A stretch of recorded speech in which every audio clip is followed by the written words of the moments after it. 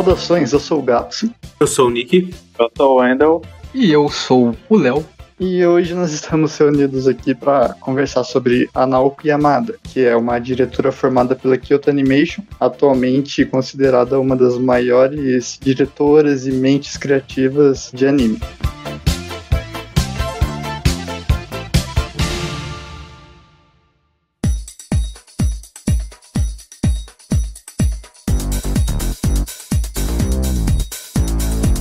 Em 2021, foi anunciado a adaptação em anime do conto de Reiki Monogatari, que é inspirado num clássico medieval japonês. E esse era o mais novo recente trabalho da diretora, só que dessa vez fora da Kyoto Animation, onde ela se formou artisticamente, e dessa vez sob o estúdio Science Sato.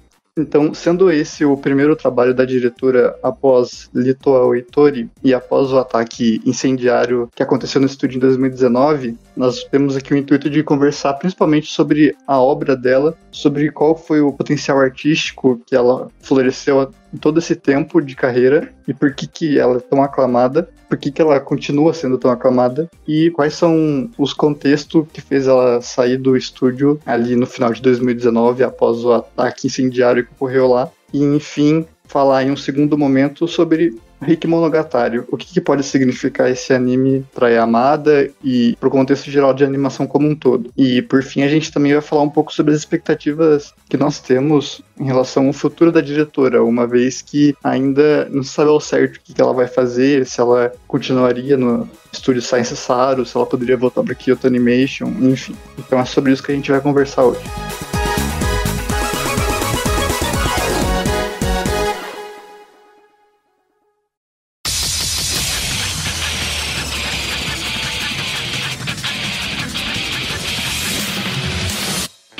Bom, então a gente pode começar falando sobre como que ela é uma diretora jovem, né? Porque a Yamada tem 37 anos e isso é bastante interessante, porque normalmente os diretores de anime, né, sejam homens ou mulheres, mas a grande maioria da indústria de homens normalmente são velhos ou pessoas ali, pelo menos nos seus 40 anos, né? E a Yamada, na verdade, o primeiro anime que ela dirigiu na Kyoto Animation foi o Keion, em 2009, e ela tinha só 25 anos na época, né? E apesar dela, ela entrou um pouco mais cedo no estúdio em 2004 e foram só alguns anos de experiência que bastou para ela começar a dar indícios do poderio de direção que ela tinha e finalmente dirigir a própria série. Eu não sei, eu conheço poucas diretoras mulheres, mas eu tenho a impressão de que. Não, não sei se é porque o japonês também é um povo que demora para envelhecer, né, esteticamente. Ainda mais se você pega exemplo, sei lá, Hirohiko Araki, né, que tem 70 anos e parece ter 20. Mas, por exemplo, aquela diretora lá que fez o.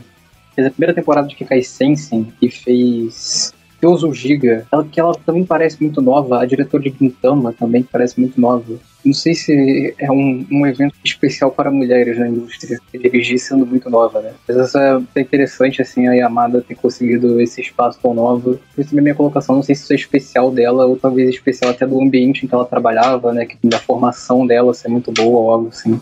Eu acho que é interessante porque, assim, tem uma coisa realmente dos diretores que estão crescendo agora, artistas estão crescendo, é muito diferente, sei lá, de uma época de um Rossoda ou até anterior, mais velhos, assim, porque até por causa da velocidade que as coisas estão avançando, né? Artistas se formam mais cedo hoje, acho que tem toda uma junção disso e também tem a ideia de que a Amada, ela cresceu muito rápido na carreira, né?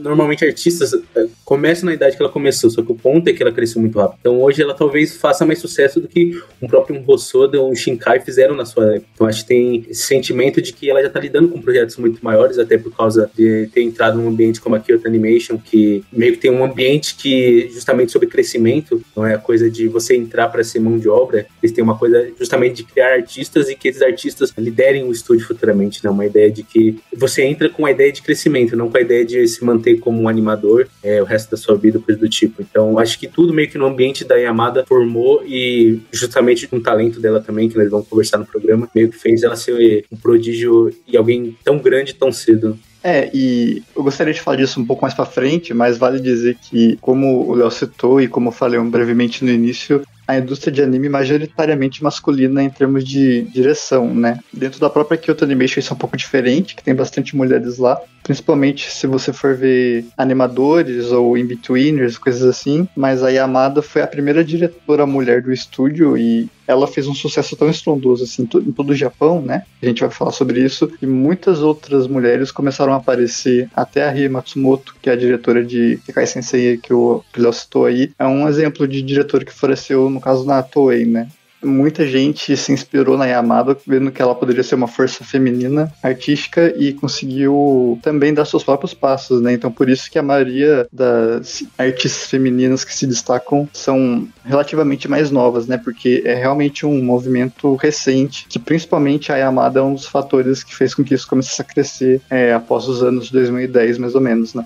É, eu acho que vale dizer que ela, como ela já falou em entrevista, né, ela tem meio que uma preferência, assim. Acho que ela pensa muito justamente sobre a posição dela como uma das poucas mulheres e tem uma coisa que ela tenta sempre colocar à frente, assim, se ela for escolher, tem sempre uma preferência por mulheres. Não que ela escolha, assim, por gêneros, mas ela não esconde que ela prefere, assim, confiar em artistas mulheres, principalmente para articular o comportamento de mulheres, né? Que normalmente as obras dela vão se centrar. Eu achei muito interessante isso porque é difícil um homem tentar articular o que uma mulher sente melhor do que uma mulher. Então, acho que o ponto dela é muito interessante, muito válido e que mais artistas possam ter esse mesmo senso, né, de trazer mais artistas e que a indústria não seja tão tão só de um lado, né? É, e a, a, gente já começou a falar sobre a Yamada, mas a gente não falou sobre quais são os trabalhos dela. Então eu vou listar aqui brevemente o que ela trabalhou, e aí a partir disso a gente começa a falar mais sobre o trabalho dela em específico e tal. Como eu disse no começo, ela iniciou a sua jornada na Kyoto Animation foi em 2004 como animadora e ela ganhou já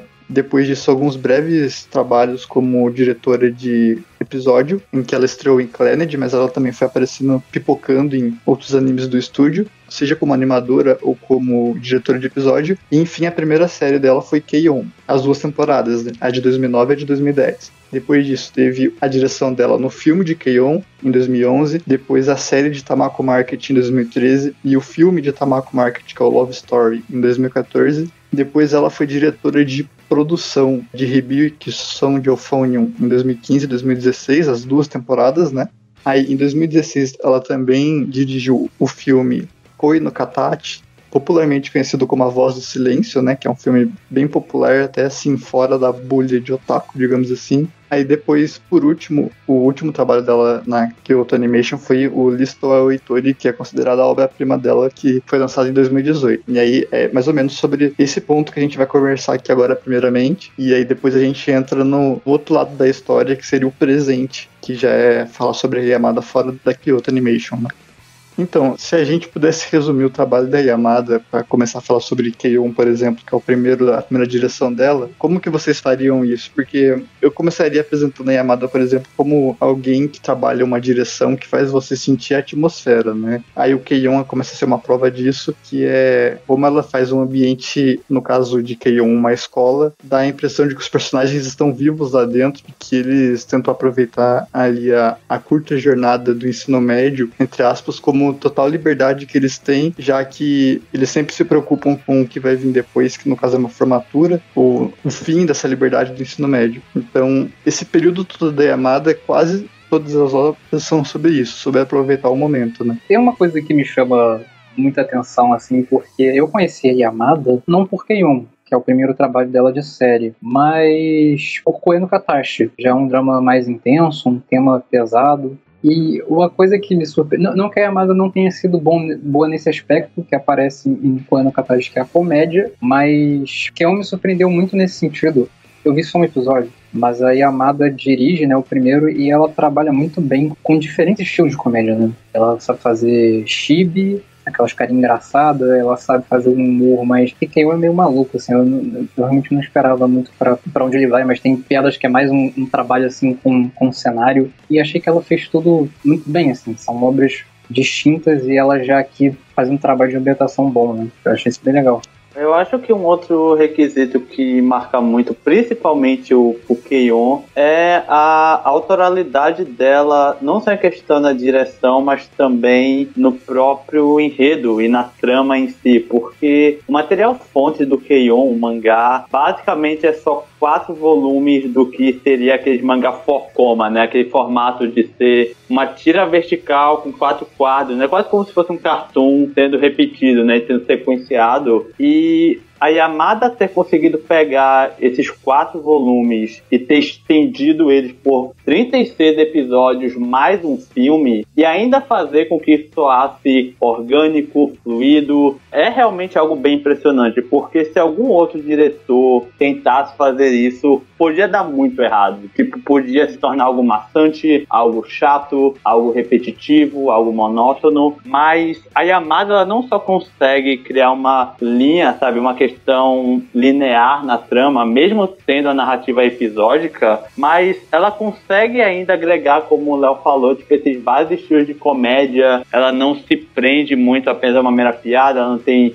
medo de arriscar ou de simplesmente colocar momentos mais contemplativos ou, sei lá, momentos um pouco mais nonsense ou um pouco, sei lá, apenas interações diálogos, sabe, engraçados e tudo mais. E isso já é algo bem impressionante, assim. Tipo, eu acho que isso já demonstra o quanto que a Yamada ela não estava disposta a se prender ou fazer apenas uma mera adaptação, copy-paste, como a gente está acostumado, né? Ela não tem medo de alterar material, o material fonte para atingir o melhor resultado dentro da mídia audiovisual que ela trabalha. Então isso é algo bem notável, assim. Eu acho que vale dizer que o mais são a ideia de quadrinhos de quatro painéis, né? Então é até interessante porque quando você consegue discernir um anime quando ele é uma adaptação disso, porque você consegue perceber né, a estrutura e a adaptação direta disso. E eu acho interessante porque normalmente você pensaria como traduzir as piadas em animação, o que a Amada faz em Kenyon é muito mais como traduzir o mundo dele em animação. Então ela pega a Reiko e ela pensa em piadas isoladas que a questão delas são muito mais sobre evocar uma experiência, né? É um lugar, um dia preguiçoso de ensino médio. Tanto que as piadas se repetem muitas vezes e não é porque são as piadas o centro, é muito mais a questão das piadas formarem um ambiente que as pessoas já conhecem. Então, é, quando você entra e você discerne uma personagem fazendo uma coisa que ela sempre faz. É muito mais uma questão de esse é um ambiente que você já conhece e fazer todos os momentos parecerem assim, você reconhece os momentos. Acho que, por exemplo, Sun Moon é um anime que faz isso, da coisa de você criar um mundo real e você fazer as pessoas sentirem que aquele mundo é importante. Tanto que quando o anime vai chegando ao fim, você sente esse fim, né? Você sente você tá perdendo esse mundo. E é muito interessante por isso. O que eu gosto sobre Keion é como ele visa eternizar a juventude dos personagens meio que despreocupados na escola, né? E como vocês bem falaram, a Yamada ela eleva o material, porque, por exemplo, se você comparar a primeira temporada de Keion com a segunda, tem um salto de qualidade absurdo em todos os sentidos. E não é nem que a primeira seja ruim, mas é que a segunda eles realmente fizeram algo diferente, né? A Yamada ela já comentou, por exemplo, que a primeira temporada teve uma, um sucesso tão estrondoso no Japão que abriu o caminho caminho para essa sequência e com essa segunda temporada eles tiveram um planejamento melhor e ela falou que essa popularidade instigou ela a conseguir ter mais confiança para fazer essa sequência. Então, a segunda temporada de K1 ela explora muito mais com originalidade o universo, né, como vocês falaram, o universo que o anime cria e intensifica, que é a escola, os personagens interagindo e a vivência dos personagens ali dentro, do que o que o mangá fazia, né? E por isso até que é notoriamente perceptível essa como a segunda temporada vai muito além da primeira, assim, em questão de qualidade e não só é, em exploração narrativa, mas também em estética, né? Tem um, um salto de qualidade visivelmente presente na segunda temporada de K1, que já começa a ser, por exemplo, bem mais realista nas composições, na fotografia, enfim. Foi muito melhor elaborado, né? Acho que é bem isso que o Gaps falou e é interessante que a segunda temporada, ela meio que não apresenta, assim, nenhuma mudança na fórmula, né? Normalmente você pensaria que uma segunda temporada, assim que melhoraria, ela pensaria em novas coisas, mas na verdade aqui é muito sobre os amigos da Yui e sobre focar no que fez a primeira temporada boa, né? Então é sobre pegar o tomando chá e intensificar isso, criar nisso, realmente eu acho que a segunda temporada cresce muito nisso, de criar nisso um ambiente de verdade sobre, assim, pegar um grupo de amigos conversando numa tarde preguiçosa encapsular isso em um anime. Como seria isso? Eu acho que a segunda temporada ela cresce muito nisso porque ela ataca justamente esse pensamento e como o Gabs falou, por causa da agenda melhor de produção, eles conseguiram fazer isso muito melhor. Então, novos takes da sala são criados, é, novas composições são criadas, assim, eles conseguem ilustrar uma mesma sala que seja chuvosa, que esteja fria e ou independente da estação, justamente somente mudando a composição. Então é muito interessante nisso e que meio que essa segunda temporada a, pega a ciência do Slice of Life e eleva ela muito assim muito, muito acima. Tanto que ela foi tão copiada e foi assim, meio que mudou, mudou os paradigmas do que é feito em Slice of Life, na coisa do Moe, porque ela é muito brilhante nisso do que o que um Slice of Life tem a oferecer. A ideia de piadas internas que amigos teriam criado. Então, são piadas que, como as pessoas normalmente têm com amigos, piadas internas, piadas referências antigas, elas têm isso e criam muito isso. Então, tudo muito reconfortante, muito bem pensado, tanto narrativamente como visualmente. E uma coisa que a gente vai ver muito em Amada é que meio que as duas coisas se entrelaçam e no final tudo é uma coisa só, né? Narrativa visual e narrativa escrita mesmo, elas são uma parte da outra. Quando elas conversam, são feitas por pessoas que entendem uma outra. Isso engrandece muito o tipo de arte que você está criando. E complementando o que o Nick acabou de falar, né, sobre essa suposta fórmula uh, de NFA e tudo mais, eu acho que um dos pontos que mais me faz gostar de Keion, uh, não só, obviamente, tipo, cuidado visual, mas é o quanto que provavelmente Keion, ele é a obra mais solta da Yamada, assim, no melhor sentido possível, porque, tipo, é como se nesse esquema, tal qual como, por exemplo, uma, um outro anime da Kyoto Animation que é o Luckstar, ela tivesse simplesmente a liberdade de fazer piada sobre absolutamente qualquer coisa coisa. Tipo, ela não se restringe a nada não é como se ela estivesse precisando estar presa a algum conceito nem nada. E por ser algo tão rotineiro e tão banal, entre aspas, é como se muito da intenção do Keion fosse fazer piadas sobre o banal, sobre o simplista, sobre mostrar o quão engraçado pode ser situações da nossa rotina, sabe? Que a gente pode passar ou com amigos, né, como o Nick falou, ou sobre situações como, por exemplo, um episódio da segunda em que é todo baseado no fato de elas estarem passando calor. Tipo, tá verão, elas estão na sala, tá insuportável, elas não conseguem tocar e praticar.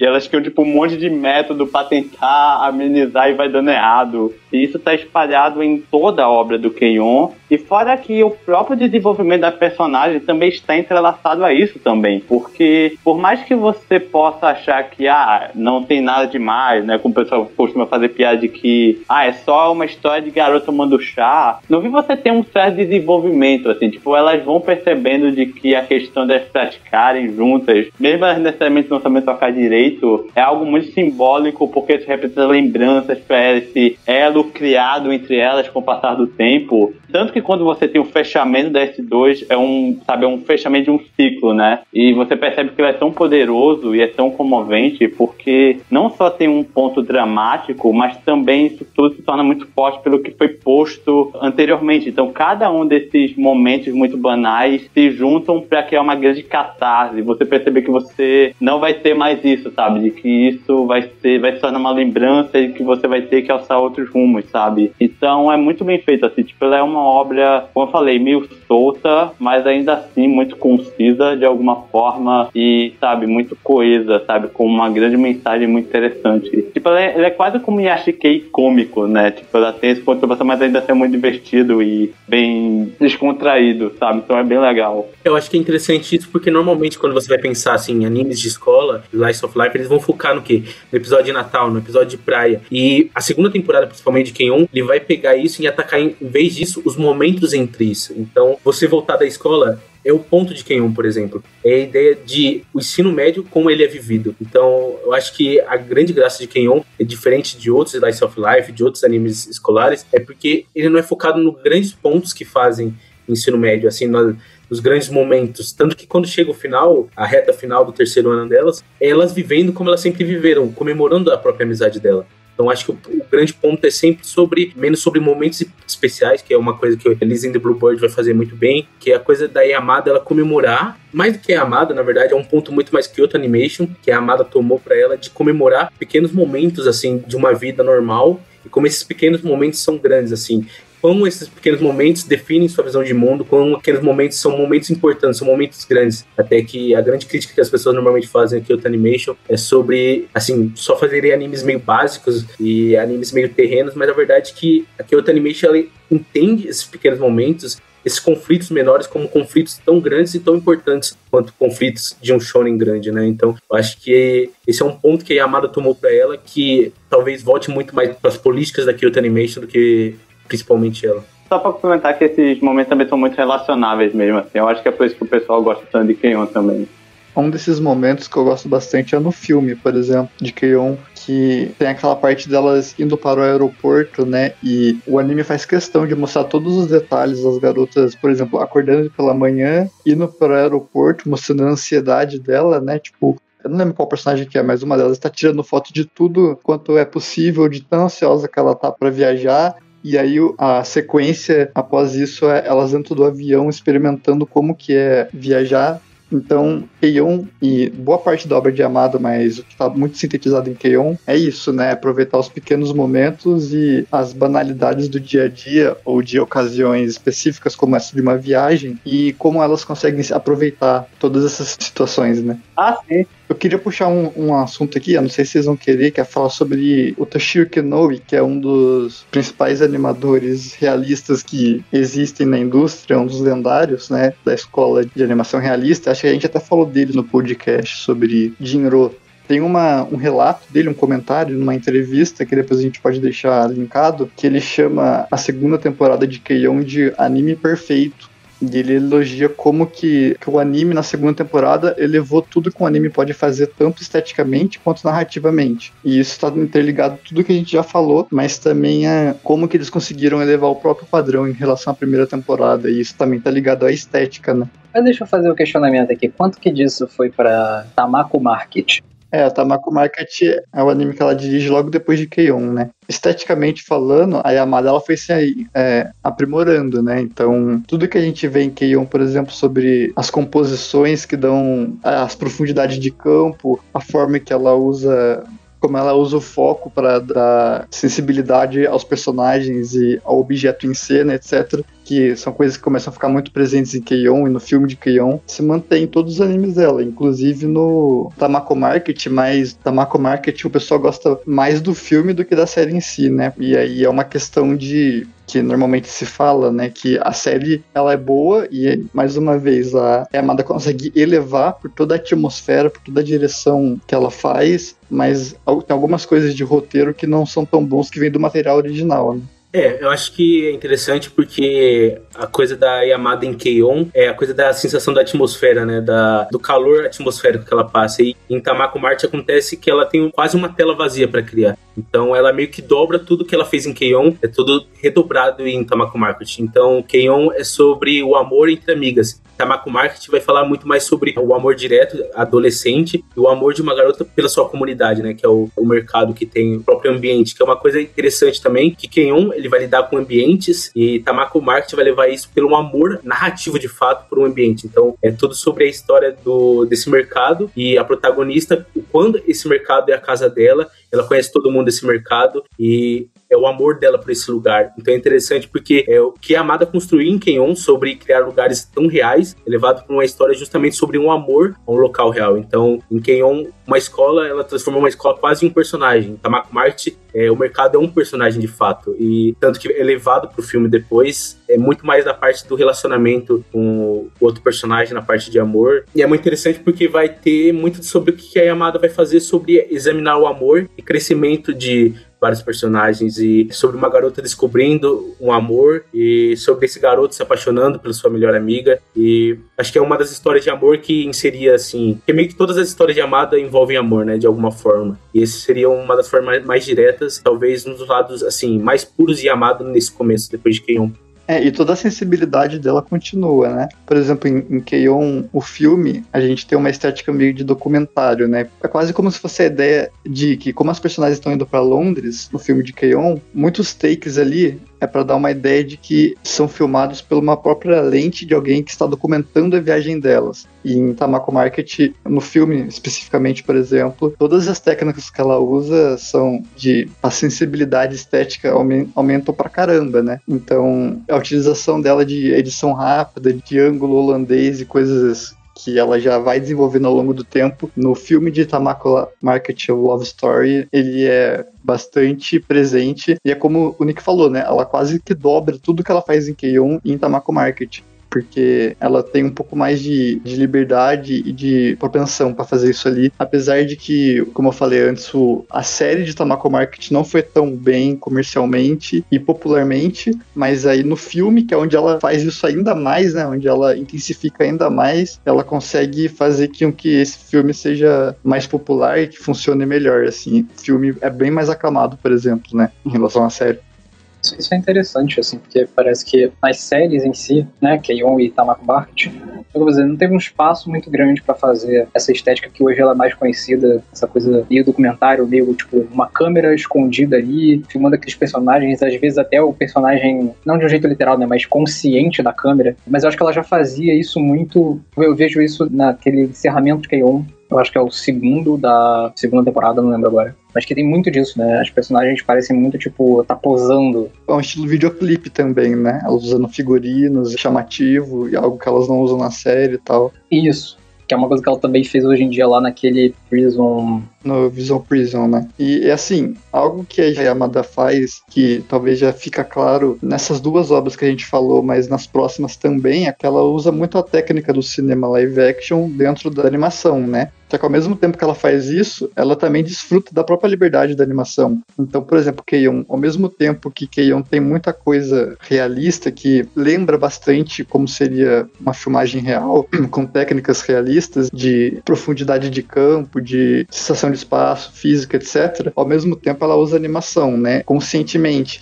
Então, tudo que vocês já falaram, que também tem Tamako Market, que é a parte de comédia, é muito mais desenho animado, né? É muito mais tibizinho, é muito mais street sketch, que, é o, que os personagens se, eles se mexem muito mais. Então, ela mistura isso, né? Ela mistura uma estética que lembra muito algo real, mas com muita sensibilidade, ao mesmo tempo que ela não esquece que no fim das contas o que ela tá fazendo é um desenho animado, né? Ela sabe misturar bem isso. E em Keion, acho que talvez é onde fica mais claro por causa de tudo que vocês falaram sobre como ela sabe trabalhar com humor, né?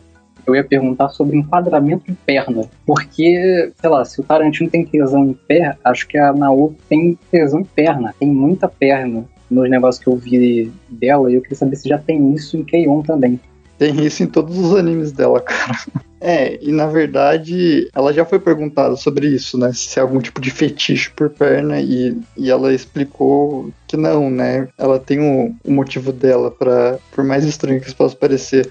Assim, é, um dos aspectos Yamada, que está presente em todos os animes, que a gente já pode é, falar sobre isso aqui, é sobre a atenção aos pequenos movimentos a linguagem corporal dos personagens. Isso é algo que ela trabalha em todos os seus animes, né? Em Keion, na primeira temporada, talvez um pouco mais tímido, na segunda já é melhor, e a cada anime que passa, digamos assim, isso é trabalhado de todas as maneiras possíveis. E dentro disso, tem essa parte da perna, né? Que é uma das características mais reconhecíveis da Yamada. São esses takes que mostram a perna dos personagens, ou o pé e a perna, enfim. E ela já falou que é justamente a ideia de isso faz parte da ideia de linguagem corporal que ela quer abordar. Por exemplo, ela diz que a expressão de um personagem nem sempre acontece por meio de um diálogo, mas que todo o corpo pode expressar o que o personagem está sentindo. A expressão facial, por exemplo, é algo que é recorrentemente usado em animação, mas ela gosta de fazer isso com as pernas para transmitir emoção. E ela explica, por exemplo, quando um personagem está nervoso, está numa situação difícil, ele tremula a perna, por exemplo. Normalmente, no ambiente escolar, que é onde a maior parte dos animes dela se passa, as pernas dos personagens ficam escondidas, entre aspas, né? Porque num ambiente de que você está sentado numa carteira e não tem muito foco. Então ela gosta é, especificamente de mostrar as pernas dos personagens e mostrar emoção, refletir o que eles estão sentindo por dentro através das pernas. Assim como em Koino Katachi, por exemplo, ela faz muito com as mãos, né? O que é conveniente lá, porque afinal é sobre comunicação, é sobre comunicação com as mãos, enfim. Mas a parte da perna, especificamente, ela diz que é isso, para expressar as emoções dos personagens. ela até já brincou uma vez que, assim como se diz que os olhos, a expressão facial podem ser a janela da alma, ela também acredita que as pernas podem ser a janela da alma, né? Então é legitimamente algo que ela acredita e que ela faz em todo o anime dela. E assim, eu tô, tô, tô, tô gastando, mas eu gosto, tá? Eu não acho ruim. E, e, isso é uma coisa que não é só ela. Você pode ver alguns momentos de, de acho que até de, de, filme, não só de anime, assim, que, que tem esses enquadramentos que pegam só, só pé e perna. E, e, mano, não sei, tem alguma força neles. Agora também é fato que a Yamada, de maneira geral, gosta dessa coisa de expressividade corporal. Eu tô lembrando aqui aquele diálogo final. Final não, né? O mais catártico ali do, do, do, do final de Liz, né? Quando as meninas estão se resolvendo. É muito sobre pegar take da mão, take do rosto, take da, do pé, da perna. É muito sobre isso. Lembrando agora, tem um momento muito específico, não sei que episódio de Haikyuu, talvez seja o 3, 4, que a Tokoko tá conversando com a protagonista e é muito diferente, assim, tá ligado? Tipo, você vê a Tokoko deitando, fazendo pequenos gestos, a mina mexendo no cabelo dela. É uma coisa que normalmente você não vê, assim, em, em anime, tá ligado? Essa, essa delicadeza e atenção. Até porque às vezes nem sempre é possível, né? O Hike tem, tem uma temática séria, uma história séria, mas não deixa de ter os momentos cômicos. E acho que ela traz essa. Não é uma dualidade, né? Mas esses dois lados aí, né? Ela consegue fazer essa coisa cômica de uma animação ela fica brincando com a careca do carinha lá que governa os Hike, mas não deixa de ter a cinematografia dela, né? bem intimista, bem sensível e tal. Eu ia fazer uma pergunta pro Nick que assistiu, que pela descrição dele eu acho que é. Talvez eu acho que é curioso perceber de que Tamako, né, tanto a série quanto o filme, ele soe mais linear do que o Keion. Talvez é como se esse fosse o momento em que a Yamada estivesse tentando criar essas histórias mais focadas e, sabe, com alguma narrativa, uma trama mais linear em comparação ao Keion, que era tão solto e lá tentando liberdade para girar em torno de uma temática específica, talvez eu, eu queira saber disso. É, eu acho que a questão desse começo da Yamada é muito sobre ela estar tá enxergando os limites e ela tá expressando todas as influências que ela tem. Então, Tamako realmente é mais linear, principalmente depois do que vem e até um pouco antes de Keion é uma história muito mais tradicional, né? Tem uma coisa muito mais anime do que outras coisas que a Amada possa fazer. Eu acho que é justamente a Amada se testando, por exemplo, ela aprofundando na coisa da paixão, na coisa, um amor mais tradicional, assim, entre dois personagens adolescentes, a coisa sobre as brincadeiras que ela. Acho que em Tamako ela também estava testando sobre as animações e tudo mais. Eu acho que ser linear era uma forma dela estar tá se testando justamente sobre o que ela buscaria criar, né? Sobre história de amor, que tipo de história de amor buscaria criar, que ela depois brilhantemente leva para o filme de Tamako, que é a questão sobre as travas que existem em se expressar, né? Que é uma coisa que a Amado sempre está pensando, a voz do silêncio depois vai falar sobre isso, a dificuldade de comunicação em Tamako na série de TV. Isso é algo mais simples. E eu acho que é uma das provas também que Amada serve um pouco mais para o cinema do que para uma série grande de episódios.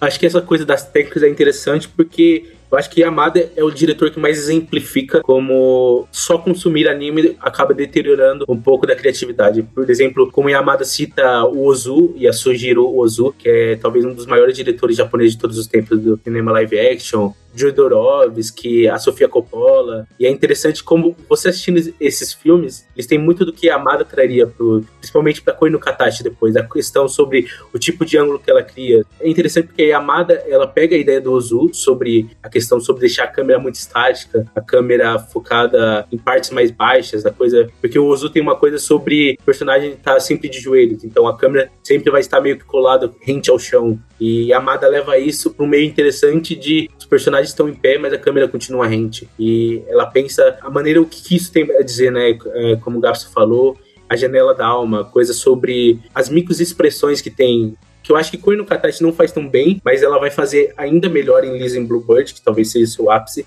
a questão sobre esses pequenos sentimentos, o quão eles são humanos e, voltando à coisa do Keion, sobre glorificar esses pequenos momentos. Glorificar aquele momento que você, é, com ansiedade, não sabendo se você vai falar ou não vai falar a sua próxima palavra, aquilo que você quer dizer. E tem tudo a ver com Koe no Katachi, né? A questão sobre a comunicação e volta até a questão da Yamada, quando ela fez os cursos de artes plásticas na graduação, ela acabou fazendo no final um projeto mecânico, se eu não me engano, porque ela diz que não conseguia assim se comunicar, né? Não sabia como se comunicar direito. E é uma questão que ela traz principalmente para Kono Katashi. Cara, e isso é legal, essa questão de você buscar outras mídias como influência também, né? Eu fico pensando, por exemplo, no Oshi, que foi trabalhar com cinema, né, no Hideakiano, e como isso deve ter contribuído também para a cinematografia de anime deles. Ou até pensar mesmo, sei lá, no Tato Fujimoto trazendo terror B pros mangás, sabe? Aquelas coisas Sharktopos que ele adora citar, Sharknado que ele recria em Chainsaw. São coisas muito valiosas, né? É interessante saber que ela tem essas influências, porque eu, por exemplo, não conhecia, mas eu senti que tinha uma coisa além de anime ali que ela trazia também. É interessante isso como quando você assiste a Yamada, qualquer coisa dela, mesmo que você não saiba identificar e entender exatamente, botar em palavras, você sente que tem alguma coisa diferente, né? Que não é um anime, entre aspas, normal, né? Sim, sim. Que eu quero dizer que você sente que tem algo especial ali, tem uma delicadeza muito a mais em todas as obras dela. E por mais que o público às vezes não sabe falar o que exatamente é isso, é perceptível, é muito perceptível.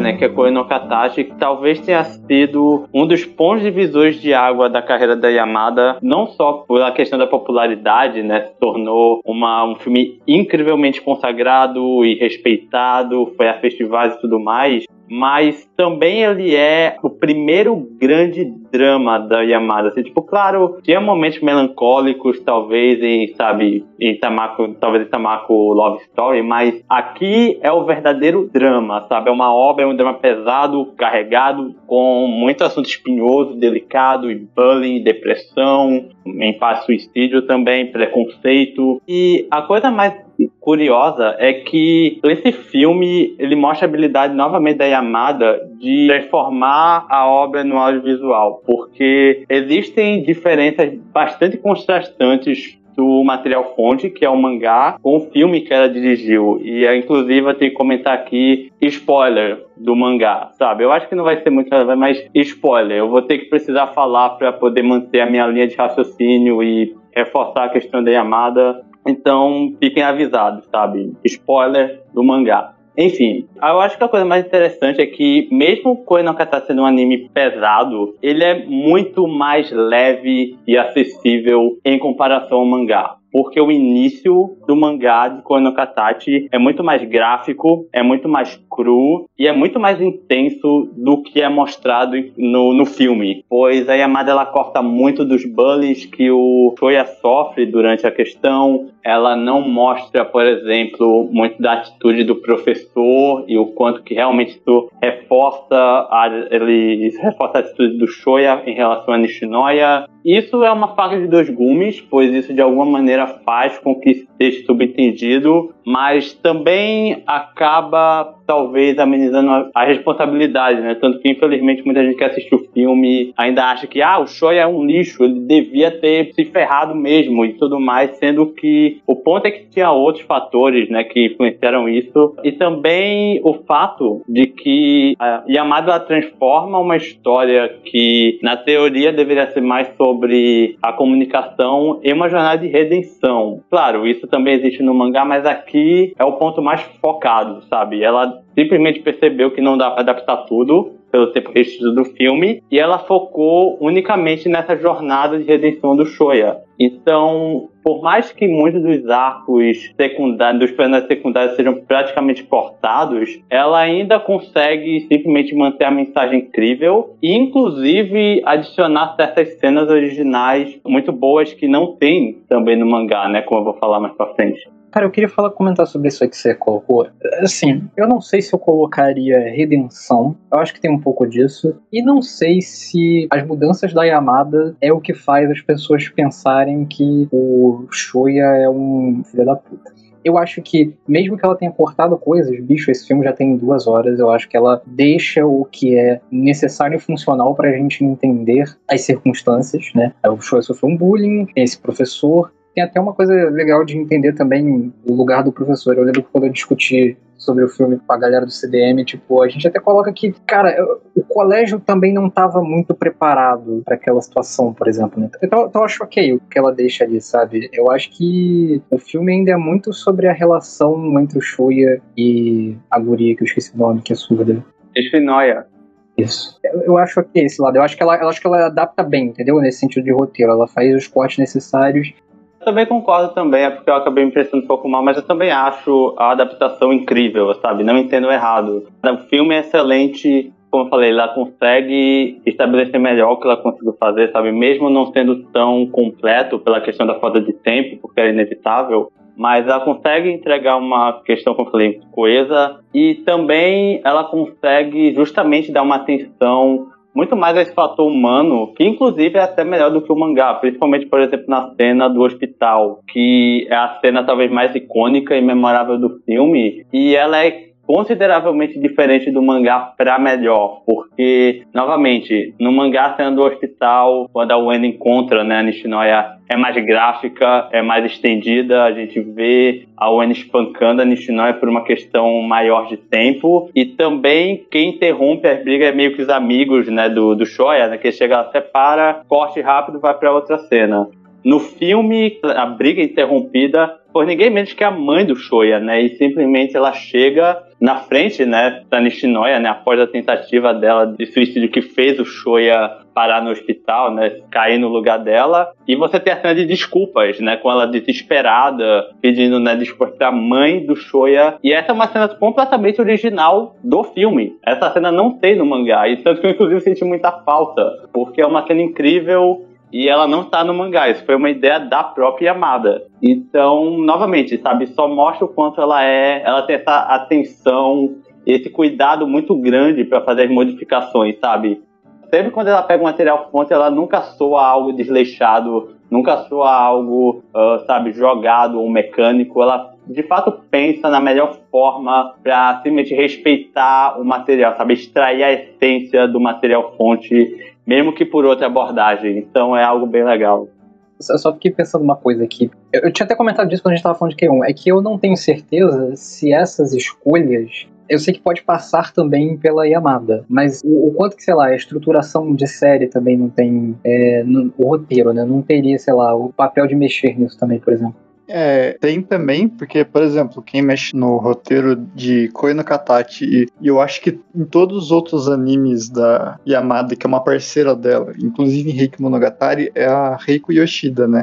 Então elas trabalham juntas. Eu não sei se em todos os animes, mas como eu lembro de cabeça, acho que em todos os animes da Yamada é a Reiko que tá mexendo no roteiro. Então elas são muito amigas e, digamos assim, que o dono do projeto no final é sempre o diretor, né? Mas é claro que compete também a roteirista fazer os cortes que acham adequado, mas isso normalmente é algo conversado entre os dois, né? Eu não acho que seja algo absoluto de um só. Principalmente na Kyoto Animation, que, é, que se trata de um time coletivo, né? Todas as áreas que trabalham em diferentes setores que envolvem animação como produto final são muito unidos. Então tem uma ideia coletiva por trás também, mas tem uma liderança, e a liderança aqui é a Yamada. Sim, sim. E o que eu queria falar é que, em relação à obra de Amado, né, no geral, dá para perceber que o Eno Katachi ele é um pouco diferente, porque apesar de ainda acontecer no ensino médio, ele não foca em tudo que a gente acabou de falar sobre as outras obras, sobre o ensino médio ou sobre a própria adolescência ser o principal, né? Esse é um cenário, basicamente, porque agora o que é desenvolvido é a comunicação, ou então a, a falta de comunicação, né? A impossibilidade né, das pessoas, dos, daqueles jovens de se comunicarem a partir de traumas passados, né? A partir de coisas que aconteceram no passado, que é apresentado logo no início do filme e que então é desenvolvido. E aí, mais uma vez, como a gente já conversou, como a gente já citou, a linguagem corporal é muito importante e dessa vez ela também tem cenas de pernas, todos os animes da Yamada têm cena de perna, mas o foco aqui dessa vez é ela da linguagem corporal com as mãos, né? A linguagem de sinais. O filme, com o mangá aborda e que ela trabalha como os personagens eles retratam seus sentimentos silenciosamente a partir da, das mãos, nesse caso. Eu acho bem legal falar sobre isso do silêncio assim, falando sobre cor, falando sobre lixo, até Hike tem um pouco disso. Mas o silêncio é uma coisa muito importante na obra da Yamada, né? Ela sabe muito bem quando botar música e quando tirar música e o peso disso, assim. É muito foda. E pra uma obra que precisa estar tá falando né, de alguém surdo, enfim, comunicação, o silêncio também é muito importante, né? E não à toa a Yamada gosta dos sinais corporais, né? Que nem sempre as palavras ou o rosto vão ser capazes de exprimir, né? Isso é muito importante. É algo que eu sinto, por exemplo, falta em algumas. Violet Evergarden mesmo. É um anime que eu sinto muita falta disso, por exemplo. Eu adoro implicar com essa merda. Sim, e só uma última observação que eu acho legal é que, novamente, enquanto que até esse momento a gente sempre falava o quanto que a Yamada ela exaltava esses momentos de alegria e de bem-estar, né, com as coisas simples, é como se Koe no Katachi mostrasse justamente o lado mais doloroso disso, porque justamente Koe no Katachi né, é uma obra sobre comunicação à falta, né, como o próprio Gabs comentou, e justamente esses sentimentos desses personagens são algo muito doloroso, é algo muito triste, sabe? Tipo, eles estão muito uh, traumatizados, estão muito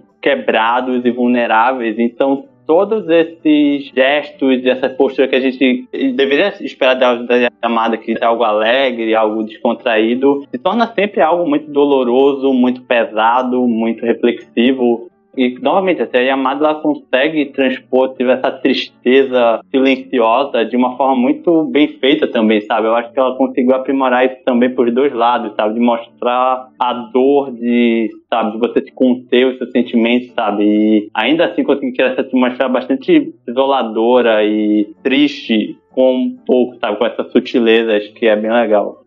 Isso é algo legal porque eu fico pensando que as obras dela são muito. Acho que a Amanda gosta de coisas agridoces, assim. É bem ou mal, no Catástrofe termina bem, né? E Liz termina bem. Até algo que eu fico me perguntando sobre Hike, porque eu não vi o final de Hike. Eu acho que no Katachi acabou sendo uma grande virada também para Yamada, porque foi, como o Gafs falou sobre a questão sobre ser uma obra que ela foi muito a fundo na questão sobre a conexão das pessoas, a comunicação e como as pessoas tentam se comunicar, tentam se entender e não conseguem. Eu acho que esse é o auge do que ela já vinha construindo em Keion, Tamako Marketing, sobre a coisa de focar em pés, é uma coisa também interessante de que a coisa da Yamada muitas vezes esconder o rosto é porque os olhos acabam sendo, como é sempre dito, a janela para a alma, né? Porque é uma forma muito fácil de você enxergar o que o personagem está sentindo. Então, em Koen no Katachi, ela exalta muito isso, da coisa de não mostrar os olhos, só mostrar as mãos, os gestos, porque justamente quando você mostra os olhos, você já está entregando mais do que você deveria de um personagem. É até uma coisa interessante que eu acho que Yamada incorpora muito sobre. Às vezes pensam que a coisa sobre direção e animação é só detalhes e é um mero detalhe, né, do, de uma construção de um personagem, mas na verdade que uma parte mais do que fundamental, porque, por exemplo, se um personagem ele é tímido e não consegue se expressar direito, você só consegue transmitir isso através da atuação e através da animação. Então, se um personagem ele fala que está se sentindo ansioso, está falando como ele se sente, ele já não está sendo da maneira que ele deveria, né? Então, ele já não está sendo um personagem que está perdido, que não entende seus próprios sentimentos. Ele é um personagem muito mais autoconsciente do que ele deveria. É até interessante porque quando uma uma obra ela não tem esses recursos como uma Kyoto Animation ou uma visão da Yamada, ela já está automaticamente assim atrás do que ela pode construir, né? Do tipo de personagem que ela pode demonstrar. E Koe no Katashi é o auge disso, que depois a Yamada vai levar para, por exemplo, Made Dragons, episódio que ela dirigiu de Made Dragons da primeira temporada, que é um episódio de obra-prima que ela fez sobre a discussão entre as protagonistas. E é justamente esses momentos quando ela mostra o auge dela, do entendimento dela sobre a coisa de focar em pernas, coisa sobre não mostrar os olhos, do que enquadrar, do que não enquadrar, e depois ela vai levar isso para Eufone e vai acabar levando para Lisa. A coisa sobre esses pequenos sentimentos, essas pequenas ansiedades que existem e como você transmite isso. Eu acho que ela entendeu finalmente é, em Koe no Katashi o que ela queria transmitir e o ponto que ela queria atacar que ela também tinha trazido em Love Stories, mas a coisa sobre a comunicação. A partir daí, meio que toda a obra da Yamada ela vai tratar sobre comunicação e sobre sentimentos e sentimentos engasgados. Eu acho que ponto de Liz in the Bluebird, que para mim é a obra-prima dela, é sobre sentimentos, é uma comemoração aos sentimentos nunca ditos, né? A coisa sobre sentimentos que você engoliu por orgulho e nunca acabou transmitindo. Então, Liz vai pegar isso, vai trazer um personagem que talvez seja o maior personagem assim, feito para Yamada, que é um personagem que não consegue se comunicar, personagem que tá todo momento se sentindo assim, igual eu falei, o tipo de personagem que se falar demais, você quebra a caracterização dele, né? Tanto que o, grande momento de Liz, o grande clímax, é justamente uma conversa, né?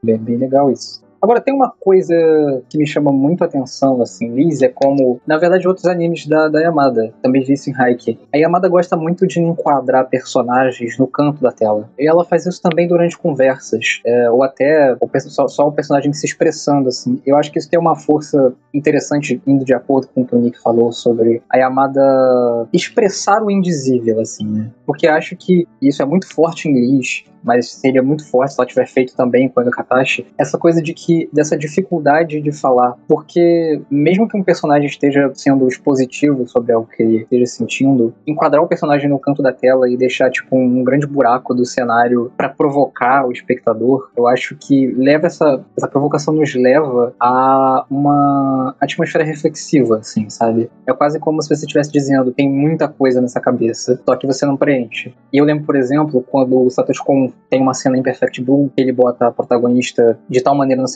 enquadrando pessoas ao fundo, conversando ali sobre a vida dela, né? São os produtores, são pessoas que gerenciam a vida dela, e parece muito como se ela tivesse, tipo, pensando aquilo, sobre como aquilo tivesse invadindo a cabeça dela, né? Mas o Satoshi compreende aquilo. Esses enquadramentos da Yamada são mais sobre não preencher isso e a gente fazer isso. E isso coloca a gente reflexivamente junto com essa história. Eu não sei se ela faz isso muito em Quando Katashi, porque eu não lembro mais. Eu não consegui ver, rever as cenas. Sim, ela faz bastante, ela faz bastante em Eufônia, e é interessante porque quando você afasta muito uma câmera de um personagem, é a ideia de isolamento, né? Então, quando você transfere ele, coisa que a Amada faz muito, como o Léo falou, para cantos de tela e tudo, você está sufocando esse personagem, é, deixando ele no canto. Então, é a ideia justamente da ideia de, de se sentir sufocado. Tanto que no começo de Liz do Bluebird, primeiros minutos, tem muito take da personagem no canto da tela com as bolsas a coisa sobre a ansiedade dela, ela se sentindo apertado para essa ansiedade. Então, é interessante porque quando você afasta uma câmera de um personagem, você está enfatizando a solidão e o vazio, né? E quando você coloca esse personagem não afastado totalmente, somente o canto da tela, você está meio que sufocando a existência dele e tentando evocar esse sentimento desse personagem estar tá se sentindo de canto, literalmente. E a perna tem um, um, papel bem bacana nessa parte aí do, do comecinho de lixo, quando a mina tá esperando ali na escada, né? Você vê que ela tá realmente ansiosa e tal seguindo com o que vocês falaram, essa cena inicial, nada é dito e tudo é mostrado, né? E isso já deixa claro que é sobre isso que o filme se trata. É sobre, assim, é quase experimental esse filme no sentido de que ele é o ápice de tudo que a gente tá falando aqui, que é muito mais sobre os pequenos detalhes e a composição e até a utilização do som para deixar uma impressão e, assim, não deixar muito claro o que os personagens estão sentindo, mas demonstrar que eles estão sentindo alguma coisa, né? É, o filme é cheio de manifestação corporal extremamente sutil e de expressões uma olhada de canto, às vezes um personagem mexendo o rosto mexendo alguma parte do corpo de uma maneira específica, mexendo o cabelo, por exemplo. O filme tá cheio, tá cheio desses simbolismos que, como vocês já falaram, é o simbolismo que você tem que interpretar, que é justamente os personagens com problema para se comunicar, mas eles estão se comunicando através de toda essa estética que ela trabalha nesse cinema que ela tá fazendo, né? E uma última coisa aqui, como eu falei, tem muita utilização do som. O som é trabalhado com uma certa importância nesse filme. Vale ressaltar que o processo da utilização no som no filme de Liz, ele foi diferente de como acontece com o anime normal, porque normalmente a trilha sonora em um anime ela é colocada como pós-produção, depois da animação está pronta. E no caso de Liz foi feito ao mesmo tempo, digamos assim, porque teve todo um trabalho da Yamada com o Yushu, que é o representante da que trabalha com a música, que estava responsável pela música nessa produção. E ele teve um papel muito importante junto dela de casar a relação da Nozomi e da Mizori junto de da ambientação de algumas músicas, de algumas apresentações e tal que vai acontecendo durante o episódio. Então, até essa preocupação e essa sutileza existiu de fazer a trilha sonora e toda a ambientação acústica casar com os detalhes que o filme queria trazer.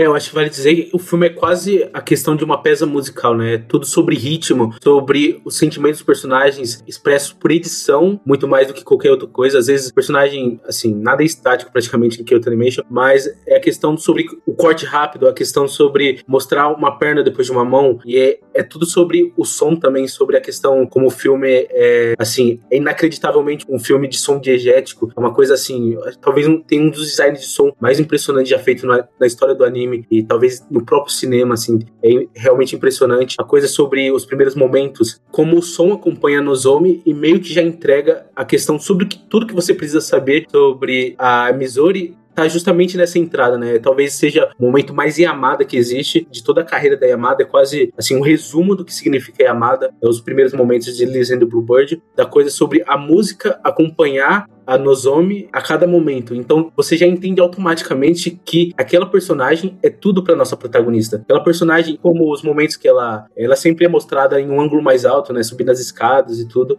E tudo sem diálogo. Você não precisa entender, não precisa ouvir o que a Misori sente, porque você tá todo momento dentro da cabeça dela. Acho que esse filme é interessante porque ele se passa todo dentro da cabeça de um personagem. Acho que é uma das coisas, assim, que eu não tenho entendimento ou nunca visto em nenhum outro anime. Coisas sobre você ser teletransportado, assim, de maneira quase atordoante para o mundo de uma personagem. Uma personagem que é calada e é talvez, assim, é irônico sobre isso e casa muito pra Yamada, assim. É uma personagem meio que feita pra Yamada. Deixa eu só me corrigir aqui, que na verdade eu passei o nome do responsável pelo som só como, como Ushio, porque eu não lembrava o nome dele inteiro, mas é Kinsuki Yushu, que, como o Nick falou, ele merece ser citado e ter o crédito, porque, de fato, o trabalho de som desse filme eu também nunca vi igual e tem uma certa sutileza, né? E ele teve um papel tão importante que ele não é só acreditado como compositor, né, de trilha sonora, como normalmente acontece em animação, filme, anime ou série, mas ele também é acreditado por compor a arranjos e composições sonoras de sessões e segmentos específicos dentro do filme, como por exemplo até apresentações, algumas apresentações é que tem lá, né, da banda, né, que não chega a ter uma apresentação inteira, mas eles têm uns ensaios e tal e até sobre a forma como o som e a ambientação é formada. Então, a Yamada até fala em entrevista que ele teve um papel muito importante, a parceria entre os dois, né? Que ela puxou o Kensuke Ushio para fazer tudo isso que a gente tá falando. E eu achei que valia a pena mencionar o nome dele corretamente. Porra, é o cara que vai fazer a trilha sonora do Chainsaw Man, inclusive, né? E o cara que, que vem trabalhando com o Yuasa também, né? O Devilman fez o Japão Submerso também, legal.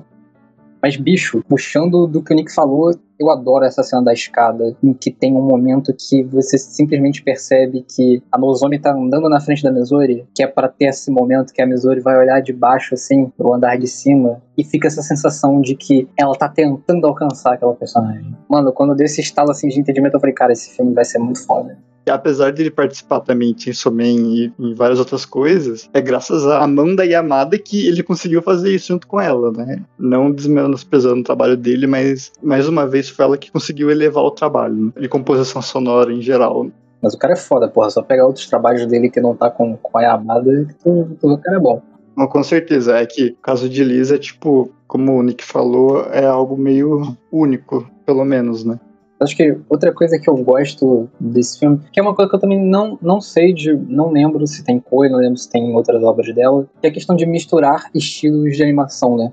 O Liz tem esse momento que é anime bem produzido, daqui outro animation, e tem esse momento que é mais uma história infantil. É uma coisa meio aquarela, né? Que tá contando a história da Liz e do Pássaro Azul, né? Que vai estar tá sempre em, em, jogo com a relação da Dozone e da Besouro. Gosto muito disso. E gosto também como isso, assim como a música, é um jeito também da Yamada tá dizendo, e dessa história tá dizendo, a importância da arte no indizível, né? Então, tem quase que uma espécie de metalinguagem também, né? Tanto que o momento que precede o clímax da conversa é elas tocando e se conectando por causa da música. Então, isso é muito bom, cara. Tipo, você falou que era um experimento, né, Gapo? Eu não acho que é experimento, eu acho que na verdade é resultado dos experimentos que a Yamada veio fazendo, né?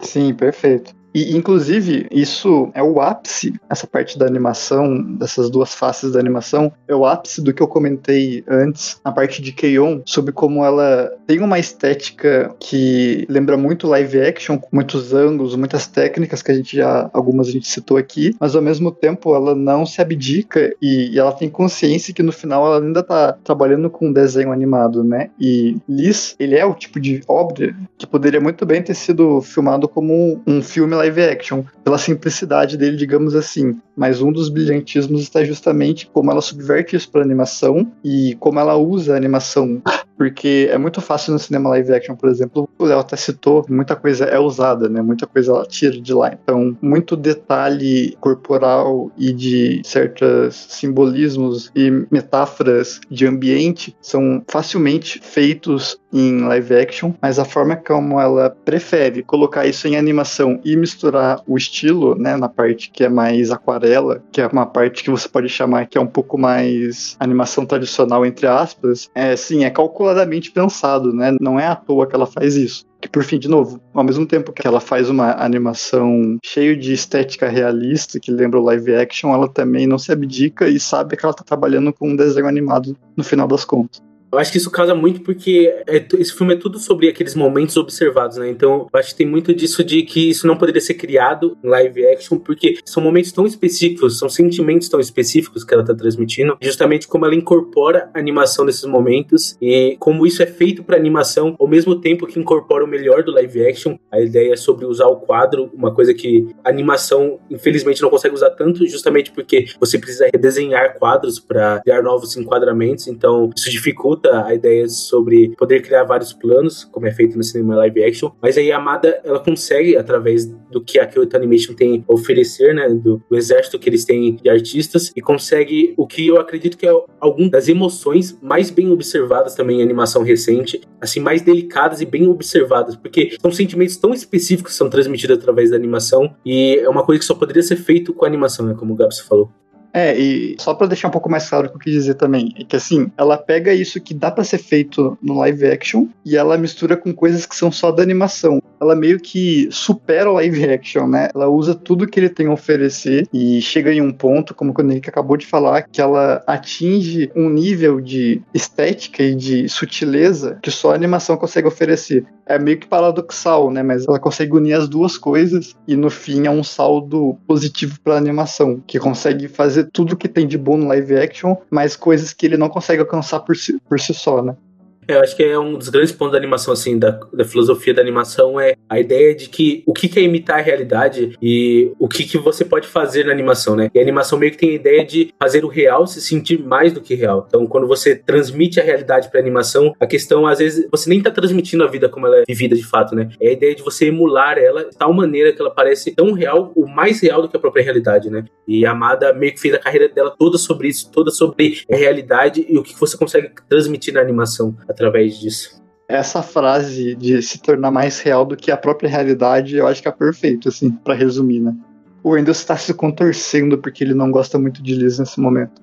É, exatamente, cara. Eu não sou muito fã de Liz e é, eu não tô muito assim, eu acho, de começar uma discussão. tipo, não, não, não, entendo, tipo, não entendam errado. Eu respeito Liz, a estética é incrível, a trilha sonora e a sonoplastia é fantástica. É definitivamente o trabalho mais experimental da Yamada. Ela me lembra um pouco as obras do Jiro Taniguchi em partes, eu respeito muito isso. Eu, sabe, com certeza eu adoro o rumo que ela almejou. Só que, infelizmente, a execução e algumas questões do roteiro, drama da Nozomi, né, da Misori da Nozomi, ficam um tanto a desejar para mim. Tipo, eu achava que se o ponto era ser experimental, ela podia ter ido mais além, podia ter feito que nem o Jiro Taniguchi, fazer algo inteiramente sobre a simplicidade, sobre o som, sobre essas sutilezas, mas ela tenta emendar esse drama drama da Misori da Nozomi e o desfecho não me traz uma grande catarse como Koe, como até mesmo Keion fez. Então, é, eu não sou um grande fã desse filme. Novamente, eu respeito o que ela fez. Foi um passo importante na carreira dela, especialmente para o que ele ia fazer em seguida, após Liz. Mas, de meu ver, a minha opinião pessoal, eu, eu não sou um grande fã desse filme, assim. Eu vou te falar que uma coisa que eu fiquei um pouco foi com a sensação de, porra, não dava para ter, sei lá, tipo, eu, eu gosto muito do que esse texto tá dizendo. Eu acho que ele entra em coisas até bem desconfortáveis do ser humano, sobretudo quando tá falando da Nozomi tem uma coisa ali de carregar uma admiração que virou uma espécie de repulsa que faz ela ter umas ações meio tóxicas assim com a Missouri e ela colocar aquilo tudo ali no final, eu acho bom. Mas eu também sinto que o roteiro, por exemplo, é legal colocar Koe no Katachi do lado desse, porque Koe é bem animadinho, tem muita coisa acontecendo, por mais que seja sobre não comunicação. Aqui a comunicação tá incrustada na estética do filme, né? Isso acaba fazendo com que não aconteça muita coisa ao mesmo tempo tem umas paradas tipo assim, aquela menina que vem se abrir com a Missouri e que tem aquele momento legal da Missouri, ah, vou convidá-la pra piscina também. Inclusive, adora a reação da Nozomi quando a Misori fala isso pra ela, porque a Nozomi dá uma quebrada. Ela fala, ué, você não era sozinha e fodida? Como assim você tem amigos agora? E cortou a parte da piscina. Eu honestamente não entendo por que, que isso foi feito, né? Até fico perguntando, porra, não era um filme longo, tinha uma hora e meia, por que não mostrou a piscina, sabe? Sei lá. Então, assim, tipo assim, eu acho um filme legal, mas também não acho o supra-sumo, não, assim, é... Eu acho que esse é o ponto, assim, porque o problema nem é ele ser lento. O problema não é tipo de, ah, porque tem que acontecer algo, tem que ter um grande clima. O problema nem é esse, porque, de novo, o Jiro Taniguchi faz obras, tipo, literalmente sobre o cotidiano mais básico, e ainda assim é incrível. Só que, pra mim, eu sinto que a Yamada ela não tinha um grande foco do que ela queria fazer em relação à mensagem. Tipo, a estética, obviamente, está incrível, e esse minimalismo está, obviamente, muito bem executado, só que a mensagem, a lição, no fim, não é transmitida de uma forma tão estafiada ou tão bem ou concisa quanto Keiun fez sabe? Que normalmente é uma obra bastante, como eu falei, sabe? Mais sobre simplista, né? Sobre esses momentos banais, mas ainda assim é forte, impactante, sabe? E aqui eu sinto que ela não tem muito foco, sabe? Tipo, pra mim o conflito da Misori e da Nozomi não é tão bem estruturado, a gente não sente muito peso. E mesmo que você possa falar de que a intenção é mais sobre a estética, sabe? O que ele representa do que o drama em si, ainda assim, como eu falei, ela devia ter ido justamente apenas na estética, então. Tipo, se a questão era você abordar o minimalismo no seu ponto mais alto, você devia ter simplesmente deixado o drama de lado e ter mostrado a beleza desses momentos muito efêmeros e simples e delicados, sabe? E eu sinto que para mim, como eu falei, a Yamada ela fica nesse meio termo e não explora, sabe? Não atinge a catarse nenhum deles, sabe? Como poderia atingir. Vou meter aqui, ó, ela é jovem, tá? Daqui a pouco ela faz um ela eleva aí o minimalismo. Sei lá, ela tem idade para fazer isso em algum momento da vida. Sim, eu não duvido que ela consiga, sabe? Ela tem talento para fazer isso, só que eu acho que como foi o primeiro ponto, ela ainda estava experimentando, sabe? E aí eu não acho que, como eu falei, o resultado final foi algo sublime, perfeito, e sabe, muito menos a melhor obra que a Yamada já fez, sabe? Para mim, como eu falei, sabe, tem obras que a Yamada fez que eu acho muito melhor. E, mas como eu falei, mas eu admiro, sabe, a tentativa que a Yamada fez. Eu ainda acho um filme válido e é isso, sabe? Acho que você tem razão. Acho, acho que dá para falar. Vou até desfazer o que eu falei antes. Acho que dá para chamar isso aqui de experimento ainda. Acho que é um pouco cedo demais para falar de ápice da Yamada, né? Ela tá consolidando um estilo. O que é algo admirável, né? Porque isso demonstra que ela não quer ficar na zona de conforto, sabe? Que ela quer fazer algo novo, sabe? Isso é algo muito admirável. Mas, como eu falei, sabe, nesse quesito especial, ela não conseguiu fazer algo tão bem construído, sabe? Quanto Keion e Konokatachi foi, sabe? Mas, enfim, ainda assim é algo muito válido e eu respeito muito a opinião do Nick e do Gato que amam esse filme. Também tem um, um pouco da ideia de que se uma coisa é muito boa para você, ela deveria ser boa para todos, né? Eu acho que Liz é um clássico caso de bastante nicho, talvez não agrade todos os públicos, não que é demérito da pessoa que não gostou de Liz, ou não gostar dela, né? Acho que é algo muito específico, Liz. Só que eu acho que Liz realmente é um triunfo de Amada no quesito de que é a coisa que a Amada construiu a carreira dela toda sobre a ideia de sentimentos indescritíveis. A coisa de se sentir estagnado da segurança social, né? Como você se sente atado através desse sentimento, né? Como os momentos que a Nozomi muitas vezes descarta os próprios sentimentos da personagem e como isso é cruel e ao mesmo tempo é justamente ela não conseguindo processar saudavelmente os próprios sentimentos dela e meio que atacando as pessoas em volta. E é uma coisa que a Amada faz muito, representa muito isso quando o Katachi tem, sobre como essas personagens estão perdidas e coisas sobre encontrar seu futuro e seu próprio eu interno, né? Acho que realmente cada minuto de Liz fala um absurdo de tanta coisa, de verdade, de assim, de você pode descompactar cada coisa e como cada minuto de Liz, eu realmente acho que é assim uma comemoração, assim, que o anime recente nunca tenha feito sobre como cada momento é um momento sobre glorificar os sentimentos da Misori e como Yamada enxerga esses sentimentos de uma maneira tão apaixonada, de uma maneira tão assim, ela enxerga a insegurança social dela como um sentimento válido, um sentimento que provavelmente as pessoas pensariam que é um sentimento descartável, um sentimento que não vale a pena uma narrativa e a Amada enxerga isso justamente ao contrário, como os nossos pequenos conflitos do dia a dia, aquela incerteza se tal pessoa no fundo não gosta de você, está apenas um, por conveniência do seu lado, e são micro sentimentos, é, micro conflitos que a Amada meio que enxerga uma grandiosidade nisso, uma validade e uma potência narrativa nesses pequenos sentimentos também, que para mim, acho que eleva realmente Liz, para mim como ainda o auge da Yamada, talvez um dos auges do anime na última década, provavelmente. Pronto, defendi. Foi até por causa disso que eu falei no início que ele é meio experimental, mas no sentido de que ele não tá muito preocupado mesmo em ter uma estrutura dramática convencional, e isso já faz com que se torne nicho e, e seja mais sobre sentir, e que, indiscutivelmente, como o Nick acabou de falar, eu vou ser apenas redundante aqui, que ele foca em objetos e circunstâncias que normalmente são considerados insignificantes, mas que eles estão ali deliberadamente inseridos a favor de demonstrar simbolismos e falar muito sobre o que as personagens estão sentindo e sobre tudo, sobre tudo isso que ele acabou de falar, sobre isolamento, sobre a dificuldade de se comunicar. Então eu acho que toda essa criação de atmosfera e delicadeza que ela inseriu aí é o ápice de tudo que ela fez até então e Reiki, que a gente vai falar, que vai ser o próximo que a gente vai falar, tem uma pegada um pouco mais diferente, apesar de também ter todos esses elementos e tal. Então, é claro que ela ainda é muito jovem e, assim, se ela tem pelo menos o dobro ainda de vida artística para trabalhar, pode ser que ela consiga superar a Liz em algum momento, mas eu não sei se, se isso sequer é possível, mas eu torço porque ela faça as outras obras grandiosas, para que a gente possa conversar dessa forma, né? O japonês vive muito, ela tá de boa.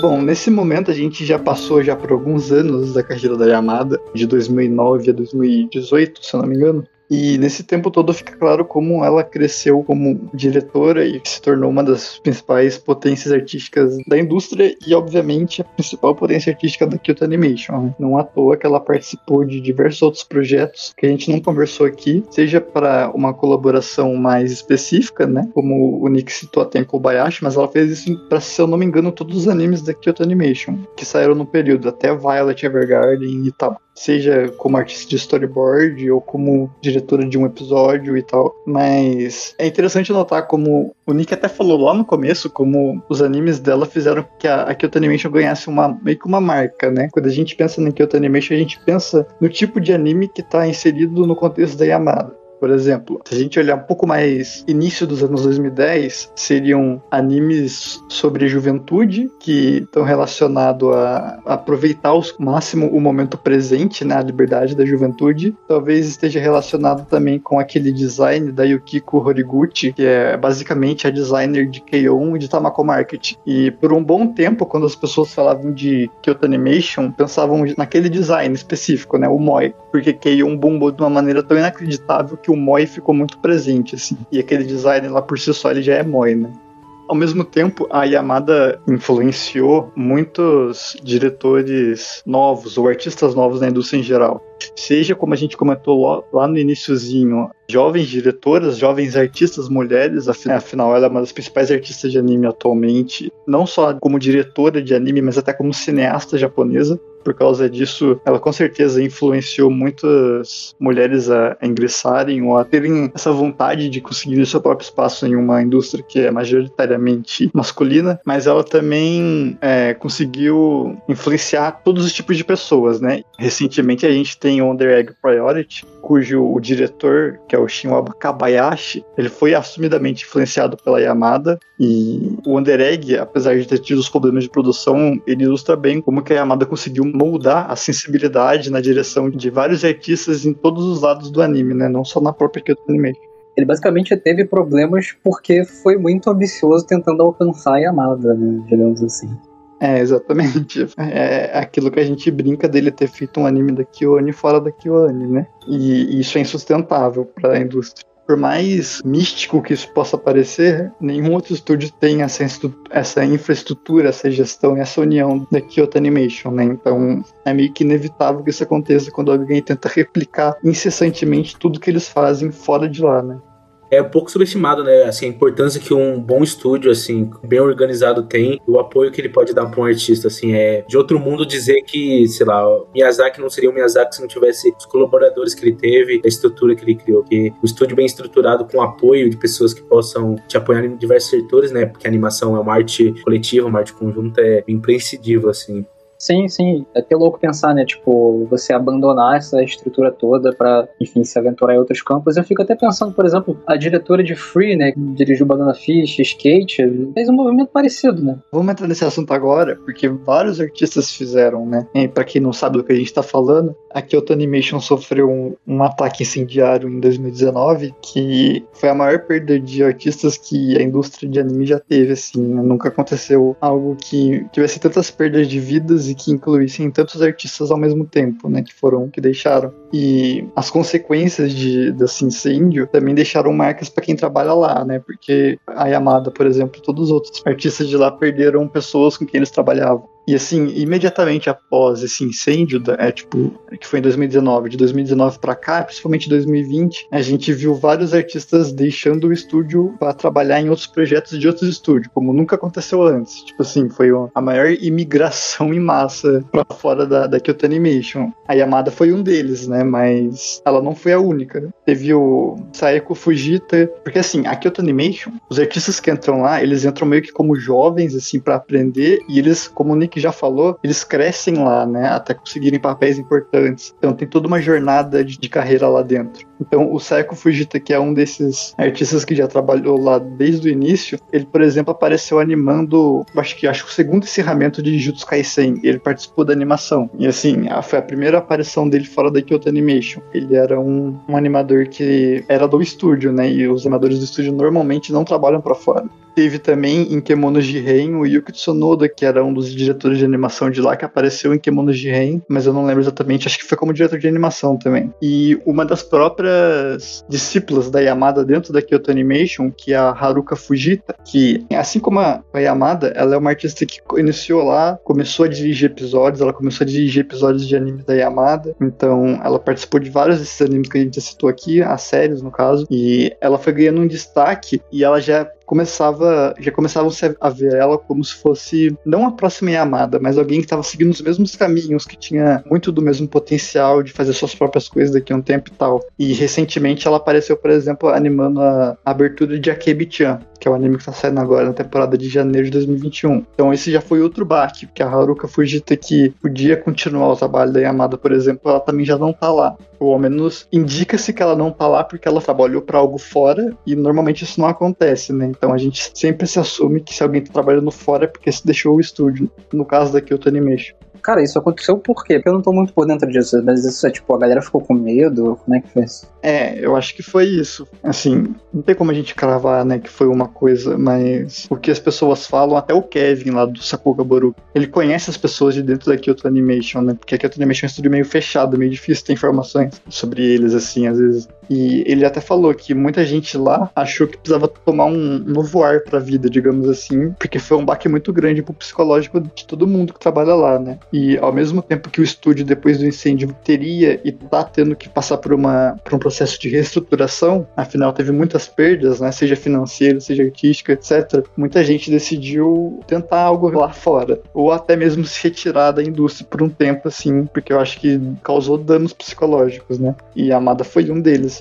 É, que eu acho que mais do que, assim, medo de qualquer coisa é justamente o sentimento, né? De meio que você vai continuar com as mesmas pessoas, mesmos projetos, com pessoas faltando, né? Então, acho que é um sentimento muito ruim de a mesa de determinadas pessoas vazia, de não existir mais elas. Eu acho que tem muito uma coisa de um ambiente que, assim, é um sentimento realmente ruim, né? De ficar todo dia recordando um acontecimento tão trágico.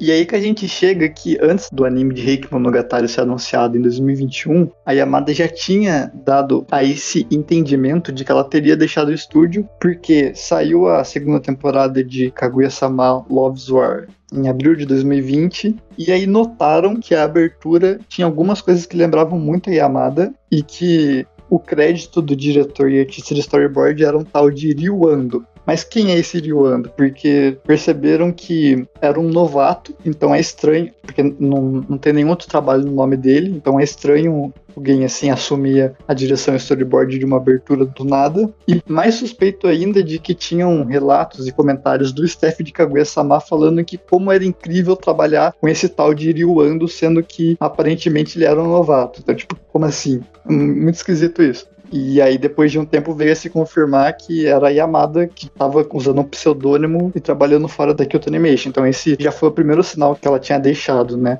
E o Ando era ninguém mais, ninguém menos do que Yamada de bigode, né?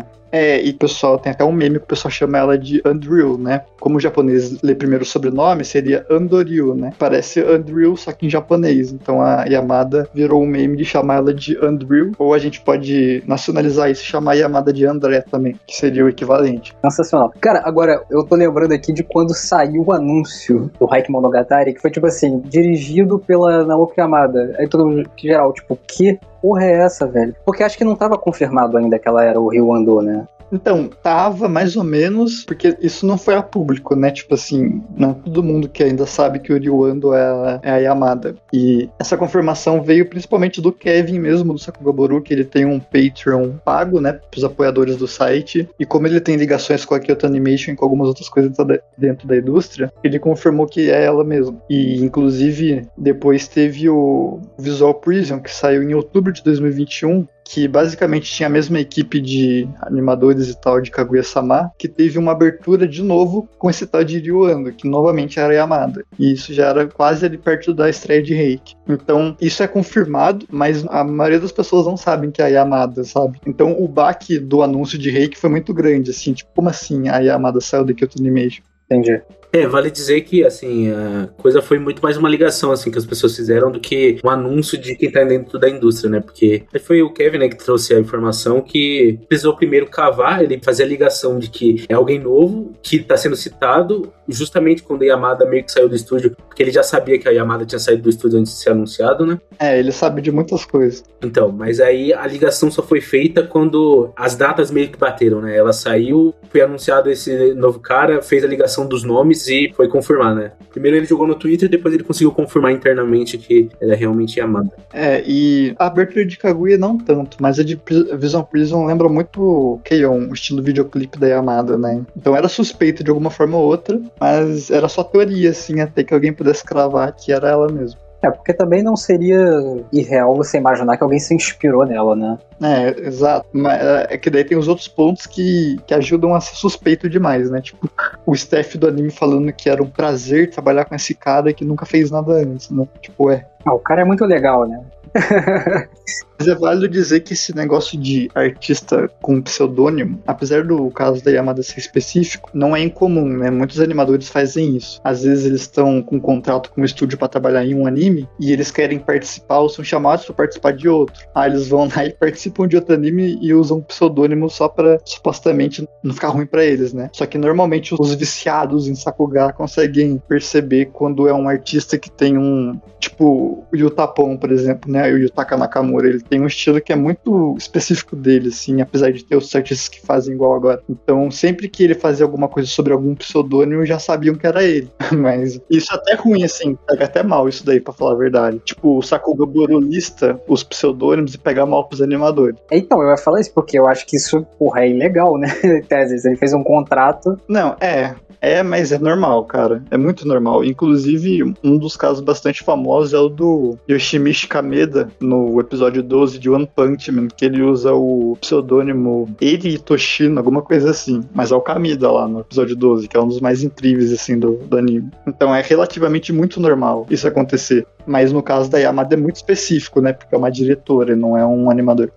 Vale dizer que não é tão grave assim, como o Léo tava falando, de ser um crime a pessoa ser meio que rechaçada. É muito mais uma coisa de que você tá trabalhando em outra produção, meio que as escondidas, né? Então é ruim, mas não é tão grave assim. E a história da animação tá toda sobre. É, você pega o Shibanha, um dos, acho que é um dos meus animadores favoritos da A-Pro. Meio que, assim, tem vários pseudônimos dele, junto com outros artistas, assim, que formam um pseudônimo só, né? É, é sempre foi normal, é. Ah, tipo assim, não é um crime, mas tipo assim, traiu e foi, e foi pego peladinho na cama. Sim, sim.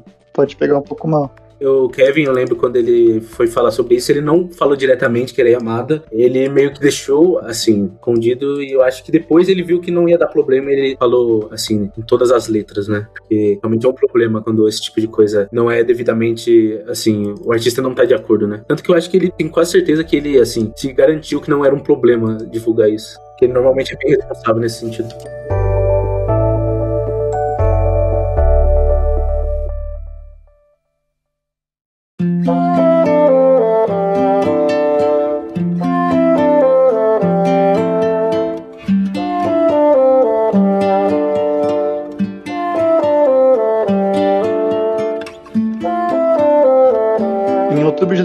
2021, na verdade duas semanas antes da estreia, foi anunciado então Reiki Monogatari com a direção de Naoki Yamada e na verdade Reiki Monogatari estreou em janeiro de 2022 no Japão, mas a, a Funimation fez uma tipo uma pré-estreia global no ocidente, então estreou em outubro de 2021 em todos os lugares exceto no Japão.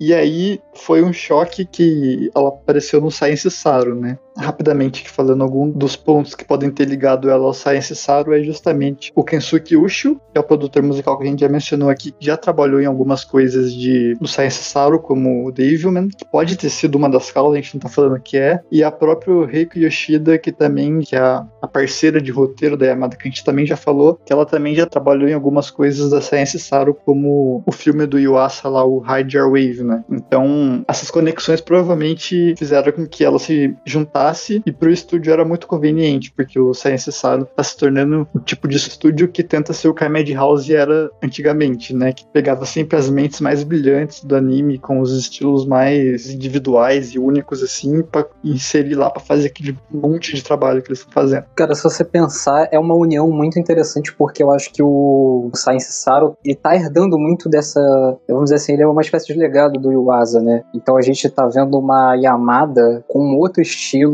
né? Se você olha pra que se lembra um pouco do. Lembra muito, na verdade, eu acho, do Yuasa. E, cara, é tipo uma, um crossover sinistro, assim. É muito doido você ver Yuasa e, e Amada junto em espírito, assim. Sim, mas ao mesmo tempo que o estúdio é pequeno e eles não tiveram tempo de se reestruturar pra pegar tanta coisa como eles estão pegando, né? Então, é. isso tá se tornando muito problemático. Mas, sobre o ponto de vista artístico, chama muita atenção, né?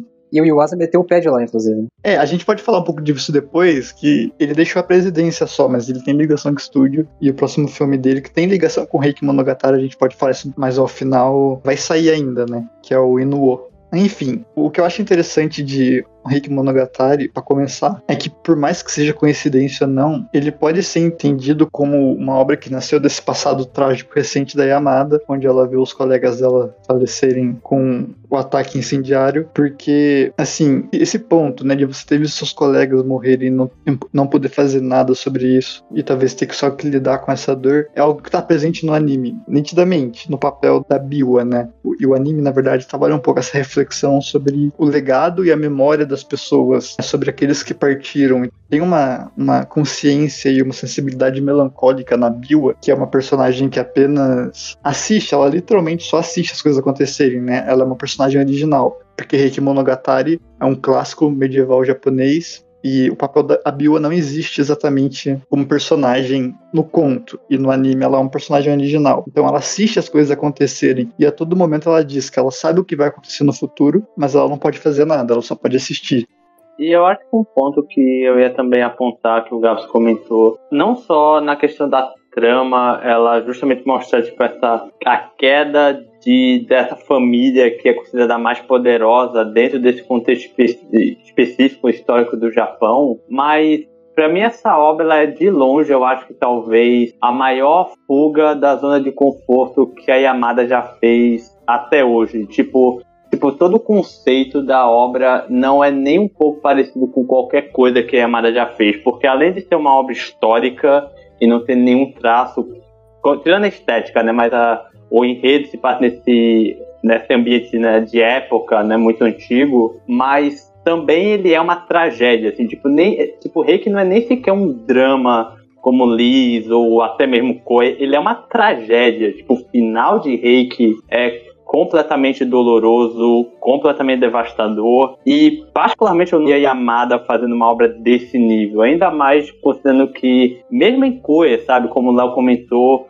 a mensagem é sempre tenta ser sempre positiva, tenta ser sempre ser algo esperançoso para você olhar para o futuro, que as coisas possam melhorar, mas em Reiki eu não senti isso, assim, tipo, o final é, é doloroso, é bastante importante, sabe, lacerante em vários níveis e de novo, isso é algo bem surpreendente eu enxergo, na verdade, assim, uma história que é muito triste, tem muitas coisas tristes, totalmente sobre o luto, né? Totalmente sobre a perda, e é totalmente sobre a fragilidade, assim, da miopia humana, né? Só que a questão é que, nas mãos da Yamada, isso meio que vira uma própria glorificação da experiência humana, assim, da essência da experiência humana. Que é tudo sobre culpa, arrependimento e o tempo que nós temos ainda para permanecer com quem amamos, né? É até interessante porque é uma reação a tudo que a Yamada fez, pega todo o amor dela pelos pequenos momentos, pela vida em si, e ela leva leva isso até o momento mais triste, que é quando você perde alguém, né? Então, ela pega a visão única dela sobre tudo que ela criou até agora, sobre comunicação e vida, toda a observação humana que ela construiu, assim, ao longo da carreira dela, e faz, assim, um hino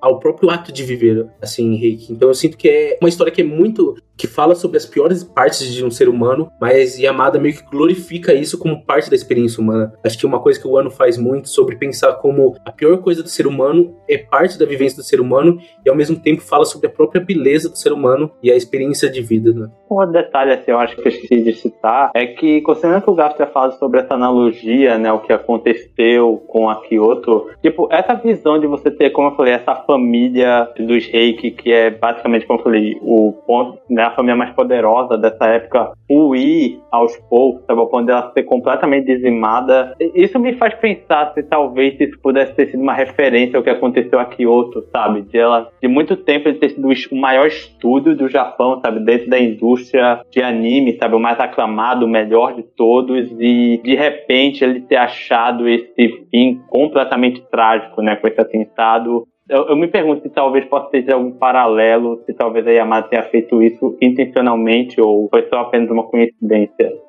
É possível, cara. Eu não acho que seja assim a queda do Kyoto Animation que ela tá falando. Eu acho que ele tá falando muito mais sobre fim de ciclos, né? Assim, de todo tipo de fim meio que ela fala, né? Tanto que no começo fala que tudo que se eleva tem eventualmente essa queda. Eu acho que, assim, pensar diretamente como aquele Animation eu acho um pouco pesado. Ela tá falando muito mais sobre inevitável fim, né? Sobre fim de ciclos em si, assim. Mas totalmente tá falando sobre a experiência que ela teve com o Kyoto Animation de alguma forma. É, essa nuance da conexão entre o que ela tá falando na obra e que o Animation existe, querendo ou não, né? Mesmo que a gente suponha, hipoteticamente, que não foi intencionalmente que ela fez isso, e sim que ela só tá adaptando uma obra que fala sobre isso, mas é inevitável você fazer esse tipo de ligação. E eu acho que em algum grau isso foi sim pensado por ela, mas como forma de reflexão, né? Até porque eu vou falar um pouco depois sobre, sobre o final e sobre como a Biwa fala sobre quando as pessoas falecem, né? Tudo que resta é você rezar, né? E eu enxergo como o Reiki Monogatari é o próprio reza, entre aspas, é a própria reflexão do seu diretor sobre tudo isso que aconteceu e como a Biwa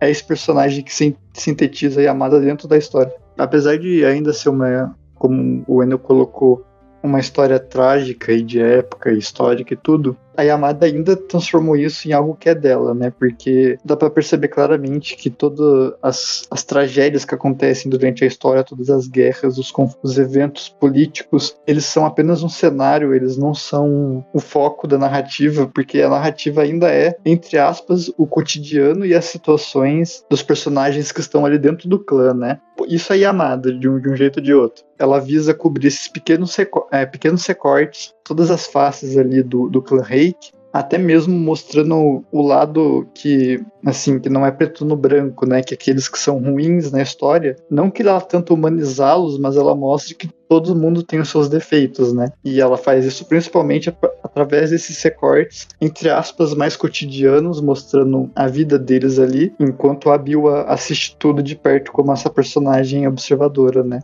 É meio uma coisa sobre, assim, igual você falou, sobre essa experiência humana de as piores partes do ser humano, mas Yamada joga meio que um brilho, um brilho sobre isso, né? Sobre o que vai restar depois de tudo isso, né? Se você gastou todo o tempo que você teria para estar com quem você está, com coisas muito pequenas, né? Coisas, coisas de ego, assim. Então eu acho interessante isso. É uma coisa muito Yamada sobre um olhar muito mais pesado, assim, sobre um olhar de uma dor que ela passou, temperado, assim, com um entendimento sobre a coisa do luto, né? Uma coisa, igual você falou, tudo que ela criou, toda a coisa, as pequenas coisas do dia a dia, a comemoração que ela tem pelas maiores coisas do dia a dia, tanto que a abertura é sobre isso, é muito sobre isso, né? Sobre esses pequenos momentos e a grandeza que existe nesses pequenos momentos.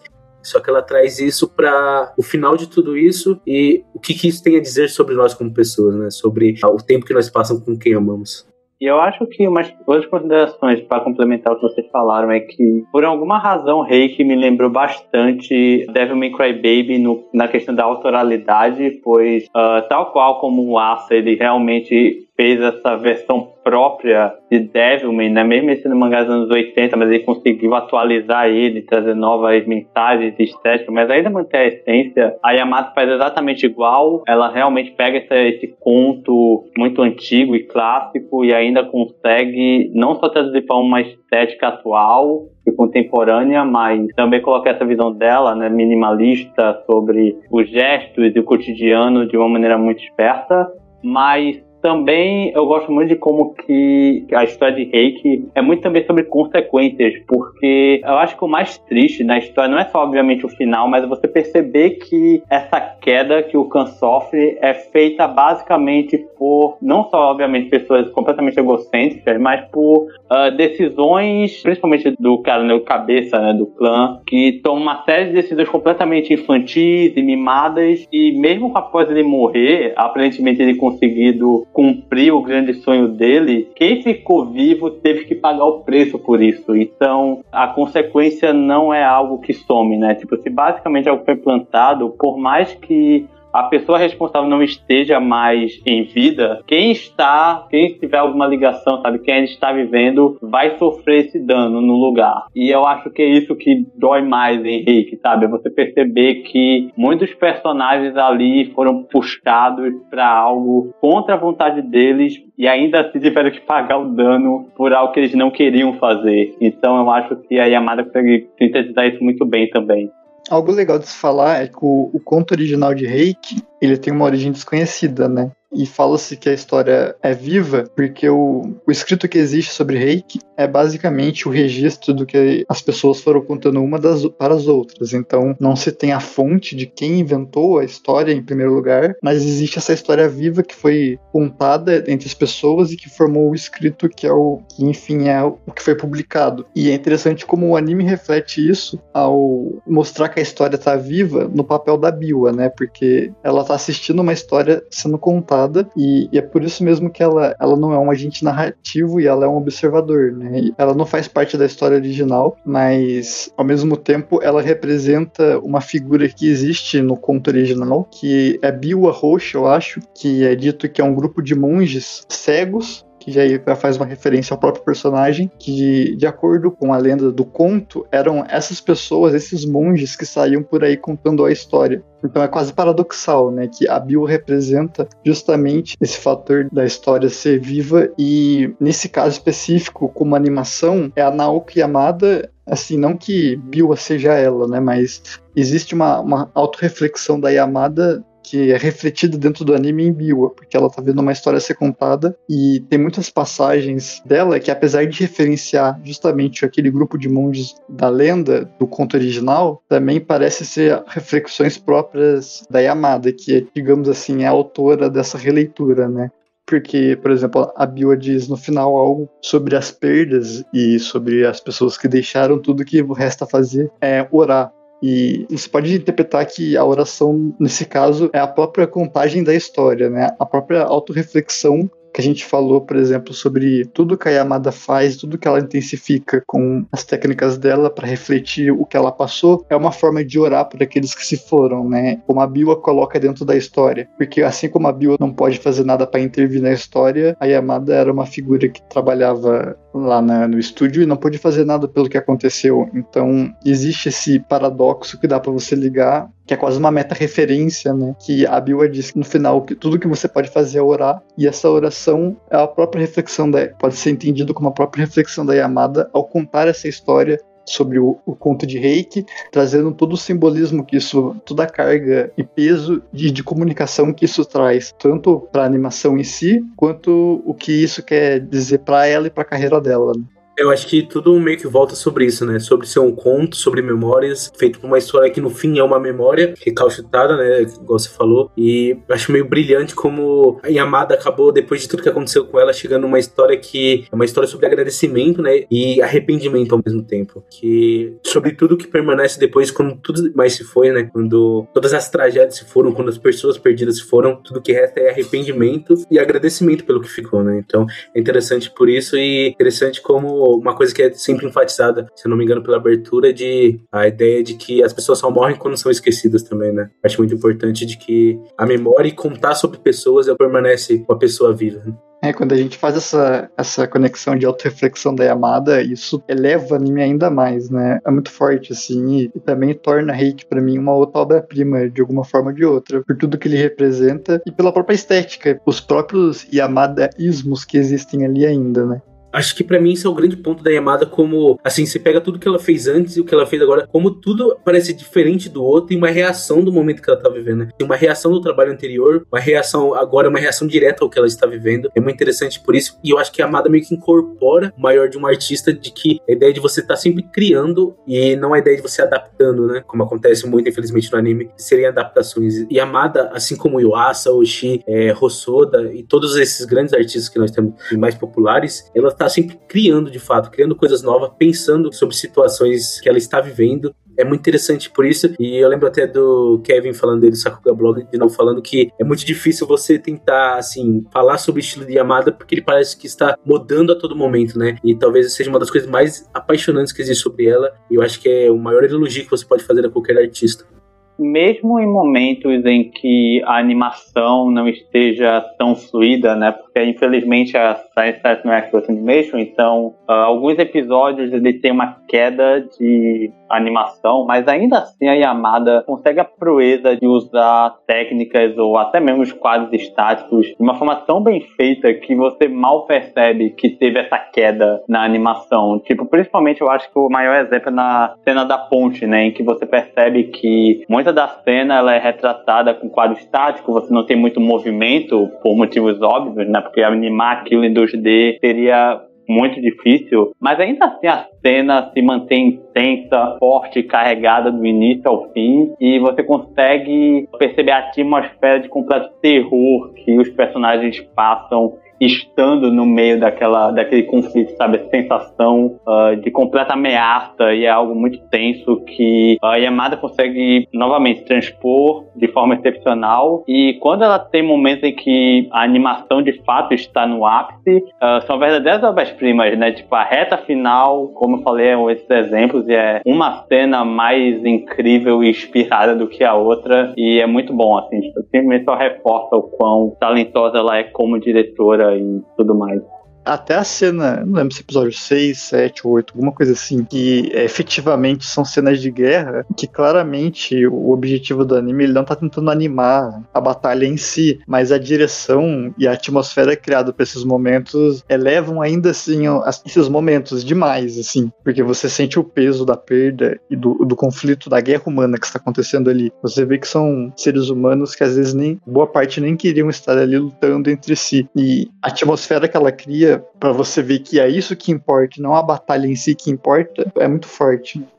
Acho que isso é interessante porque é muito difícil, assim, você criar normalmente cenas de guerra que não exaltem a própria guerra, né? É uma coisa muito difícil de você criar e a Amada faz muito bem isso de que é uma tragédia eterna, assim, o, o, momento, né? São pessoas que, assim, estão perdidas, lutando contra as pessoas perdidas e é muito interessante isso, como todo momento tem meio que essa sensação de que é uma tragédia sem fim e não um momento excitante, né? Como normalmente quando você cria cenas de ação, guerra sem querer, é inevitavelmente dando essa sensação e a Amada consegue construir oposto através de layouts sufocantes, como nós tínhamos falado, sobre colocar personagem no canto da tela, deixando mais espaço para os espaços vazios. Ela ainda continua com os mesmos tiques de focar em mãos, pernas, e meio que ela pega toda a essência do que ela construiu sobre essas reverências pelos pequenos detalhes que nos tornam humanos, essas pequenas expressões, e meio que salpica isso com, assim, uma dor inenarrável sobre a perda, né? Sobre a morte e o fim trágico que tudo eventualmente alcança.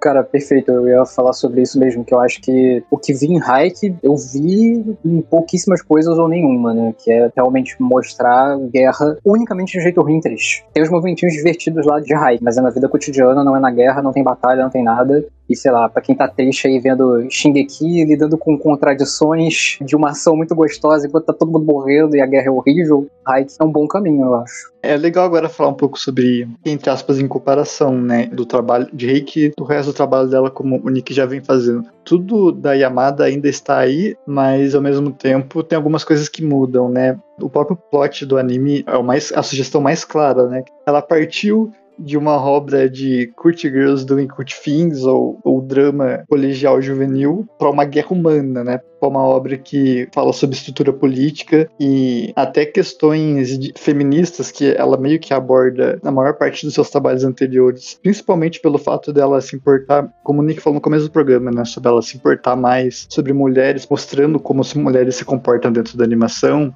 por fazer e focar praticamente só em personagens mulheres o tempo todo, aqui ela continua com essa pegada de feminismo dela, só que é muito mais intenso e muito mais amplificado, né? Porque agora ela tá mostrando uma sociedade patriarcal as mulheres ali, principalmente no primeiro episódio, você pode ver que elas estão o tempo todo é, é, submissas num papel totalmente passivo e, assim, realmente totalmente passivo e objetificado, né? Então, ela trabalha, entre outras coisas, sobre a opressão daquela época, esse papel de, de gênero e de, de estruturas hierárquicas e patriarcais daquela época, para isso deixar a política dela, que ela já trabalhava assim entre linhas nos animes anteriores, se você for fazer uma análise muito a fundo, aqui muito mais evidente.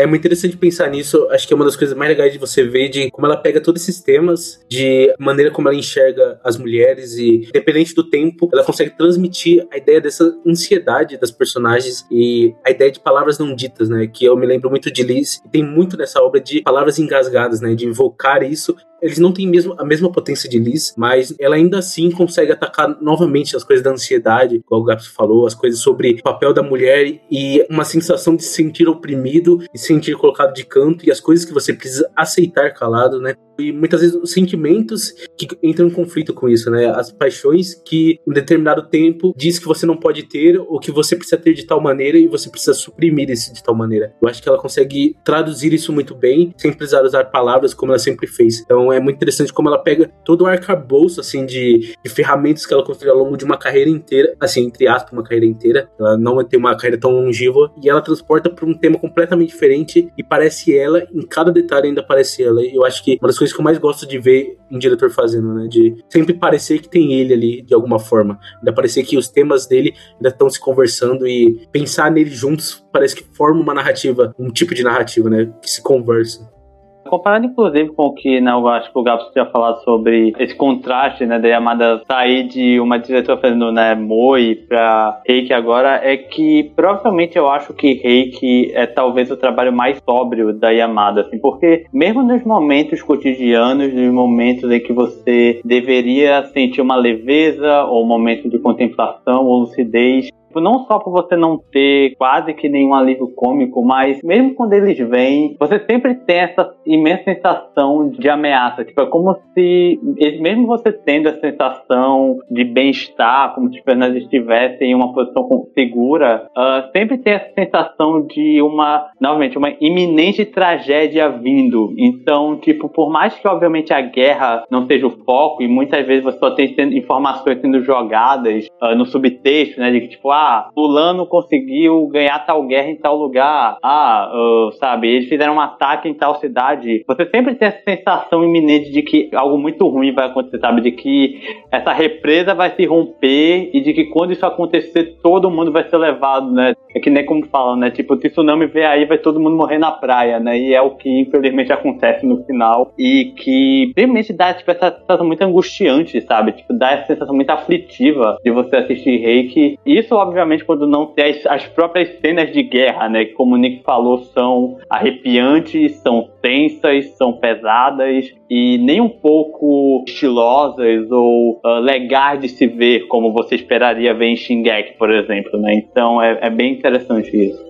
Eu realmente acho que a direção aqui tá bem boa e trazendo aquilo Yamada, né? Ainda tem muito de personagens sufocados em campo de tela, por exemplo. Tem a conversa que eu mencionei anteriormente, né? Que traz muito dessa expressividade corporal, assim. E acho que isso foi interessante porque eu não tinha visto, né? Mais do que um episódio das direções de série dela. Tudo agora aqui tava mais caótico. O plot, a produção também, que tá entupido de gente desde o episódio 2. E é legal ver que ela conseguiu, sei lá, assim como o Ishi do 86, né? Tipo, fazer o estilo dela reverberar pela obra, assim, né? Mesmo quando são outras pessoas cuidando de storyboard e direção, você ainda vê que tem um pouco de amado ali. Embora você também sinta a diferença do que é ela dirigir o próprio board ou ela fazer o board. Mas a história não ajuda muito, né? Tem, tem muita coisa nessa história que me impede de conectar, embora eu sinta que, tipo, os enquadramentos, integração, tudo tá, tá, tá me fazendo gostar daqueles personagens e só a história não tá me ajudando. E falando de todas essas características da Yamada, né, do, da cinematografia dela, que a acompanha em todos os animes, e que até o Léo já mencionou que também está em Reiki, né, como é, os enquadramentos com os personagens no canto e etc.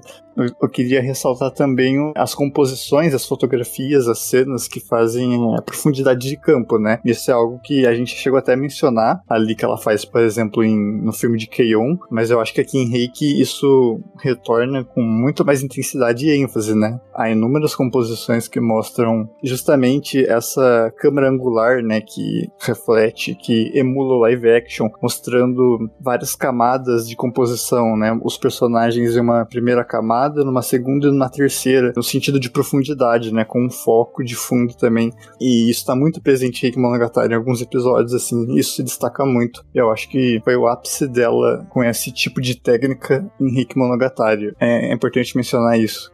E outro elemento que eu ia citar, que é uma coisa que me chamou primeira atenção em Liz, mas eu acho que aqui é mais marcante, é o uso de flor. Muitos momentos assim você tem cenas e um foco em flores logo quando a cena termina ou antes da cena começar. É porque eu não manjo muito de flor, eu não sei exatamente qual o simbolismo delas, mas sempre é uma coisa assim, tipo uma flor rosa para um momento mais calmo, flores brancas quando um personagem chora, né? Inclusive o choro às vezes vira uma flor branca e o Akabayashi, que tem a Yamada como influência, usou muito isso em Wonder Egg também. É, esse é um elemento dela que a gente não acabou mencionando, mas que está presente em boa parte dos animes também. A linguagem das flores, né?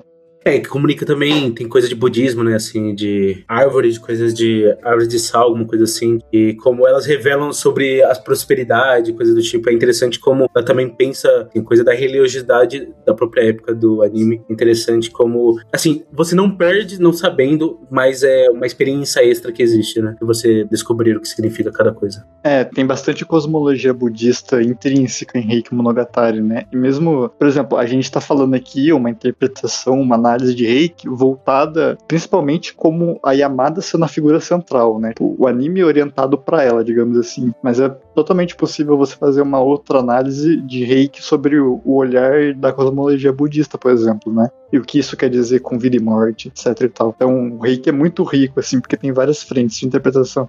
Por fim, nós podemos dizer que Reiki Monogatari é uma história trágica do passado, como a gente já reiterou aqui, mas também ela é sobre o futuro da humanidade, porque afinal mostra que as pessoas, nós, enquanto seres humanos, não estamos alheios a esquecimento após a morte. E o anime explora justamente esse elemento sobre viver a vida sabendo que ela é finita e que o ser humano é imperfeito, mas que justamente é essa imperfeição e finitude que faz a essência do ser humano, né? Por isso que, como já conversamos a respeito antes, a Biwa diz que, ao final, tudo que você tem a fazer é orar, né? E essa mensagem é um metatexto que serve tanto para a reflexão da personagem Biwa sobre a história, é, sobre o conto e a ascensão da queda do clã Reiki, através da animação de Reiki Monogatari, que é um veículo que está passando a história adiante, assim como já aconteceu no passado, como também serve como metatexto para a própria reflexão da Yamada através desse personagem, através de Biwa, que reflete sobre o seu passado recente, que já comentamos, né?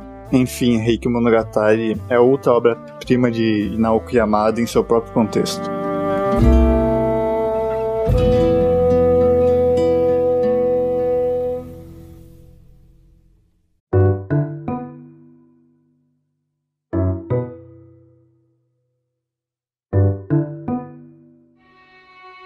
Assim, o Reiki Monogatari é baseado na tradução do Hideo Furukawa do conto original do Reiki Monogatari, que como eu falei aqui já, é um conto antigo que foi meio que originado pelo que as pessoas conversavam entre si, né? É um, foi um conto falado e alguém foi lá e escreveu, ninguém sabe quem é o autor original. Aí tem um Hideo Furukawa ele pegou esse conto que as pessoas falavam, que tinha escrito, né? E transformou no japonês moderno porque era um conto antigo, afinal. E o anime de Reiki Monogatari é a adaptação desse conto, que é a tradução do Hideo Furukawa do conto original. Mas o Hideo Furukawa também tem um meio que uma história própria, com mais elementos de ficção que se passa no mesmo período, e é desse conto do Hideo Furukawa, que é mais ficcional, que vai sair o um novo anime do Science Saru, que é o Inuo, que é dirigido pelo Masaki Uasa, que vai lançar no Japão em maio agora de 2022, mas que já está sendo exibido na Europa desde setembro de 2021. Aí eu me pergunto, será que a Yamada está envolvida nesse filme de alguma forma?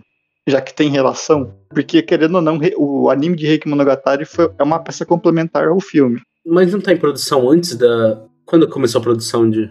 É, foi 2019 para 2020. É que é só uma teoria isso, né? Se a gente assumir que Reiki Monogatari também começou a pré-produção em 2020, porque o que eu vi o Kevin falando é que Reiki Monogatari estava sendo produzido ainda em 2021, né? Eles tiveram que correr porque a Funimation inventou de lançar o anime antes do previsto e ferrou todo mundo. Na verdade, foi, enfim, a produção toda que ferrou. Mas talvez exista uma janela de tempo aí em que as duas coisas estavam em produção ou em planejamento, sabe? Tipo, o filme estava já sendo animado e o, a série Reiki Monogatari estava em planejamento, já começando nos estágios iniciais de produção. Aí eu me pergunto, será que existe alguma chance da Yamada estar tá nesse filme? Ou, não sei, alguma sequência de abertura e tal? É, mas acho que essa teoria aí é furada, hein? Se bem que acho que não, porque o filme já foi exibido e já saiu os créditos. Esqueci desse detalhe, já teria sido dito, né? A não ser que a estreia do filme na Europa não tenha mostrado os créditos, mas eu não tenho certeza sobre isso. Enfim, mas o que, que vocês acham? Vocês acham que é, seria melhor para ela voltar para Kyoane? Porque existe alguns rumores que ela nunca saiu de lá, ela nunca perdeu os vínculos totalmente com a Kyoane, porque ela também não tá no Science Saru como in-house, ela, ela foi provavelmente freelancer aqui. Então dá pra teorizar que ela vai continuar no Science Saru, que ela vai brotar com um estúdio novo, que seria interessante.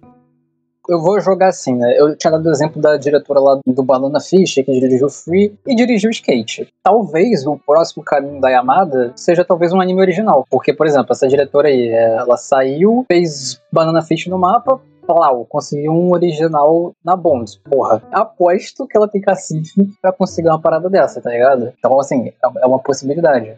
Não, assim, eu acho que é certeza que se ela continuar como freelancer, ela ganha um filme original fácil, assim, de... É questão só de tempo, assim. Só voltando pra coisa Kyoto Animation, pelo menos a curto prazo, eu duvido que ela volte pra Kyoto Animation. Acho que é a coisa de a Kyoto Animation tem uma restrição muito grande, que ela só trabalha com artistas em casa, né, e com jovens artistas. Apesar de que se alguém receberia tratamento especial seria Amada, mas eu imagino que ela realmente saiu do estúdio tentando alcançar novos ares, assim, de pensar de novas maneiras e duvido que ela volte tão cedo. E eles já quebraram, na verdade, uma vez, né? Vale dizer, a Kyoto Animation já fez com Atsumi Saito, a designer de Love Live Superstars, que voltou para Kyoto Animation a trabalhar em Koen Katashi porque ela gostava muito da obra.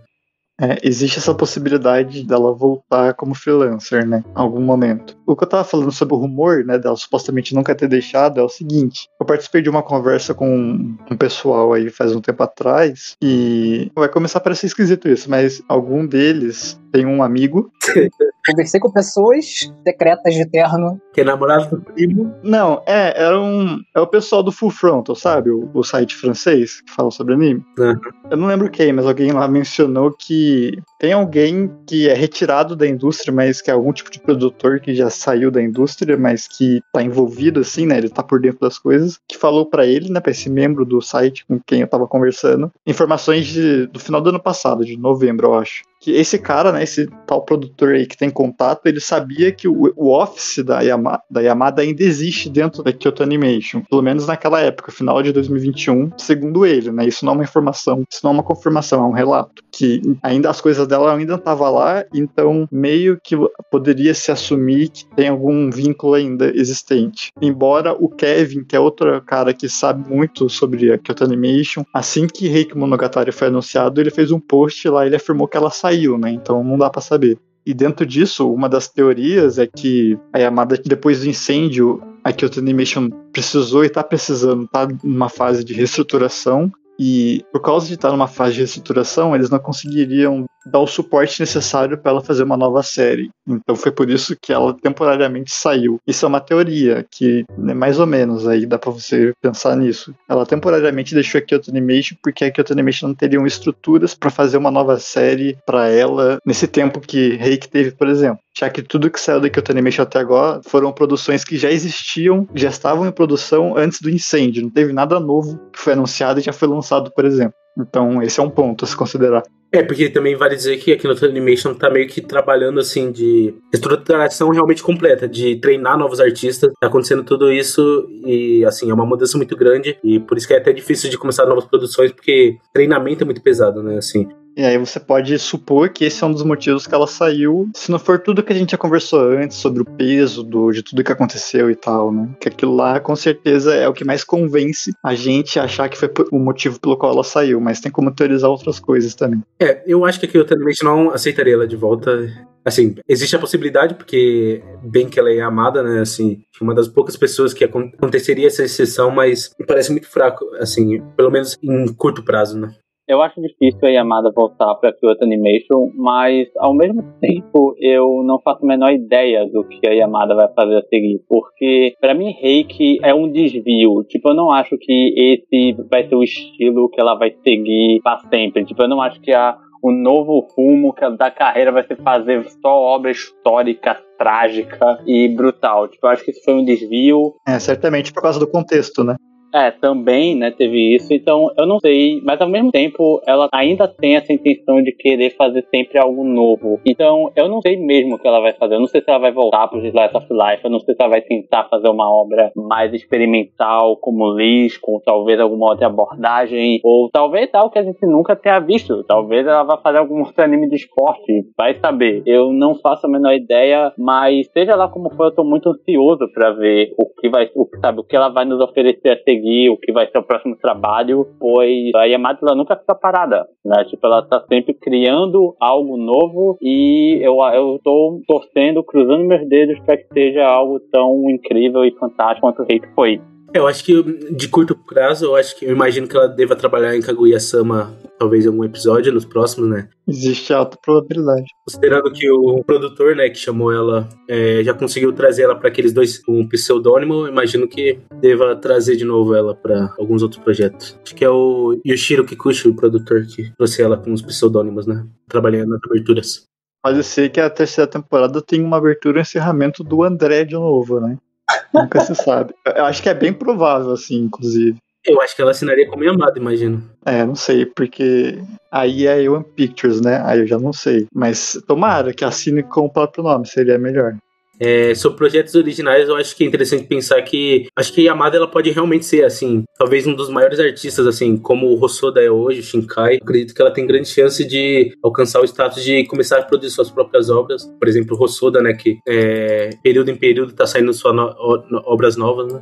É, eu acho que ela poderia sim fazer isso e, como Rossoda, criar seu próprio estúdio, né? Como todas as criações do Rossoda são no estúdio Shizu, que é basicamente dele, é basicamente com o fim de fazer os filmes dele, né? E tem. Só que para isso ela precisa de alguma, algum produtor, alguma, ela precisa de alguma infraestrutura, né? Não, é, não basta ela porque não é simples assim, né? Não basta a artista querer, mas se ela tiver um apoio de algum tipo de produtor de animação, como poderia ser o caso do que você mencionou, inclusive, que é os produtores da é que daí a Aniplex é meio zoado, né? Talvez não seria o ideal, mas ela poderia ganhar força, mas eu não sei se ela tem essa força no momento, de pessoas apostarem nela para ela abrir o próprio estúdio e começar a fazer esses trabalhos de a cada, sei lá, dois, quatro anos, né? Porque fora isso, eu só enxergo ela trabalhando agora como freelancer em projetos esporádicos, porque qual estúdio não ia querer ter uma Yamada consigo, né? O problema é ela querer trabalhar em anime em outros estúdios que não a Kyoane ou, ou que não a própria Science Saru, porque provavelmente ela sofreu na Science Saru, né, pra fazer o rei. Então, eu não acho que tenha sido.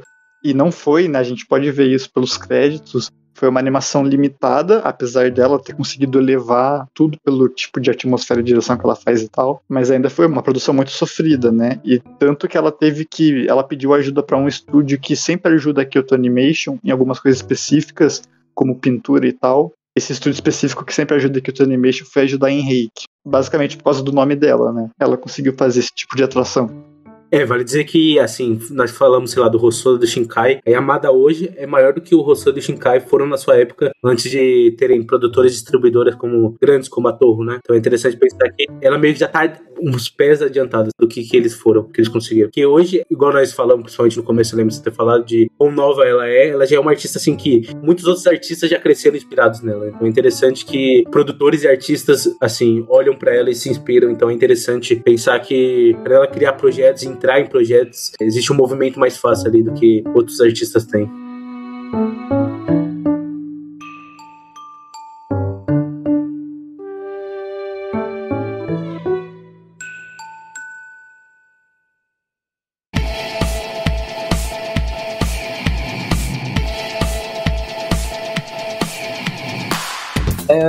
Não foi tão divertido assim quanto eu achei que seria estudar a Yamada para fazer isso aqui, mas eu gosto dela. Eu quero muito continuar vendo os trabalhos dela porque ela tem uma, ela tem um pensamento muito interessante, ela tem uma linguagem muito boa, diversa e que consegue comunicar muito. Isso é o importante. A linguagem eu identifico, eu gosto seja lá o que ela faça, eu estarei vendo, apesar de não ter gostado tanto assim da maioria das histórias que ela já fez até agora. Gostei muito de Koei, gostei muito de Elise, não gostei muito do resto.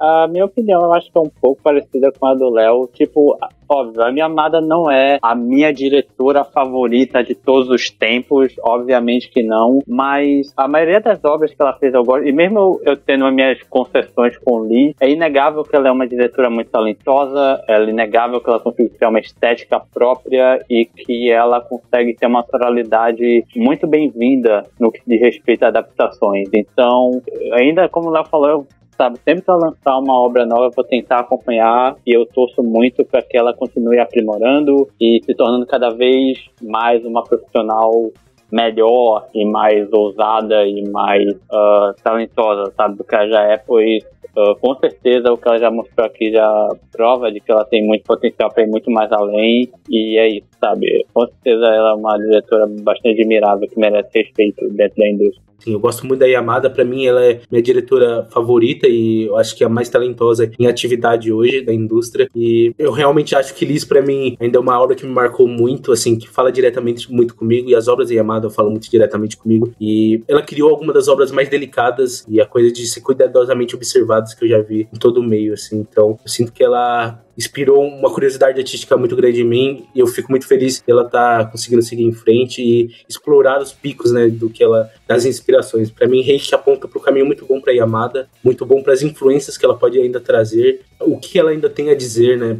Eu sinto que Yamada ainda tem muito a dizer e mal posso esperar para ouvir o que ela tem a dizer ainda. Então, esse podcast, quando eu idealizei ele, foi uma tentativa de não só falar sobre a Yamada e toda a genialidade dela que a gente tentou ilustrar um pouco aqui, já que ela não é muito comentada apesar de que ela é já uma das principais diretoras de anime e de cinema no Japão, até uma das mais tradicionais, a gente pode colocar assim. E ainda que todo, todo mundo que assiste anime, como eu já falei antes, perceba que nos seus animes tem alguma coisa diferente, alguma coisa especial que você não, não vê por aí. Então, eu acho que apresentar isso era o objetivo e eu acho que talvez a gente tenha alcançado isso ao menos um pouco, né? De despertar minimamente a curiosidade sobre a Yamada. E também sobre Reiki Monogatari. Era, meu segundo objetivo com esse podcast era vender a obra. Porque eu vi que muita gente não assistiu o anime achando que precisava ler o livro original, essa é uma das preocupações que eu vi e que a gente falou aqui que é plenamente possível você falar de Reiki Monogatari sobre o viés da própria animação sem precisar se prender à história original. É, eu vi que muita gente se afastou, principalmente por também ser uma história de época, né, uma história histórica, o que também eu acho que você não precisa se apegar a isso, porque a Yamada consegue elevar qualquer tipo de obra e a gente falou sobre isso aqui. E também, por último, porque como o anime estreou praticamente duas semanas depois do anúncio, ele alcançou muita pouca gente. Então eu acho que é importante falar sobre Reiki Monogatari e sobre a Yamada e como as, as duas coisas se conversam, como Reiki Monogatari é tão importante para ela e como a gente consegue tirar muito sobre o papel dela de carreira e como artista com Reiki Monogatari. E por fim, eu também digo que ela é uma das minhas diretoras favoritas eu também acho que já ficou claro que, como eu acho que o que ela faz a gente não consegue ver em anime, ela tem um poder de atmosfera, um poder muito especial que consegue me tocar bastante ela é movida a sutileza e eu acho que esse tipo de sutileza em anime deveria ser mais apreciado. Então, eu espero que a gente tenha conseguido cumprir algum desses objetivos que eu falei, pelo menos em parte, para instigar a curiosidade e tudo mais. Então, quem estiver ouvindo, eu espero que você agora esteja um pouquinho mais curioso sobre Reiki Monogatari, sobre a própria Yamada, porque provavelmente você já assistiu alguma coisa dela e não se tocou se você gosta de Moi, por exemplo, muito provavelmente o otaku já assistiu Keion, percebeu que tinha alguma coisa diferente lá, mas não soube dizer o que, né? Então é isso. E se você chegou até aqui, por favor, não esqueça de seguir a gente na plataforma que você estiver ouvindo no nosso podcast e também divulgá-lo, compartilhá-lo para todo mundo aí que você conhece. Você também pode mandar um e-mail para gente em hgsanime.gmail.com e além do mais, você pode contribuir com o nosso projeto para que a gente continue fazendo podcasts, continue com o site e até aumente a nossa quantidade de programas gravados por mês, contribuindo com a gente no nosso PicPay, que é HGS Anime, ou nos ajudando por Pix no hgsanime.gmail.com, que é essa nossa chave. Esse foi mais um programa do HGS Anime Podcast. Obrigado e até a próxima.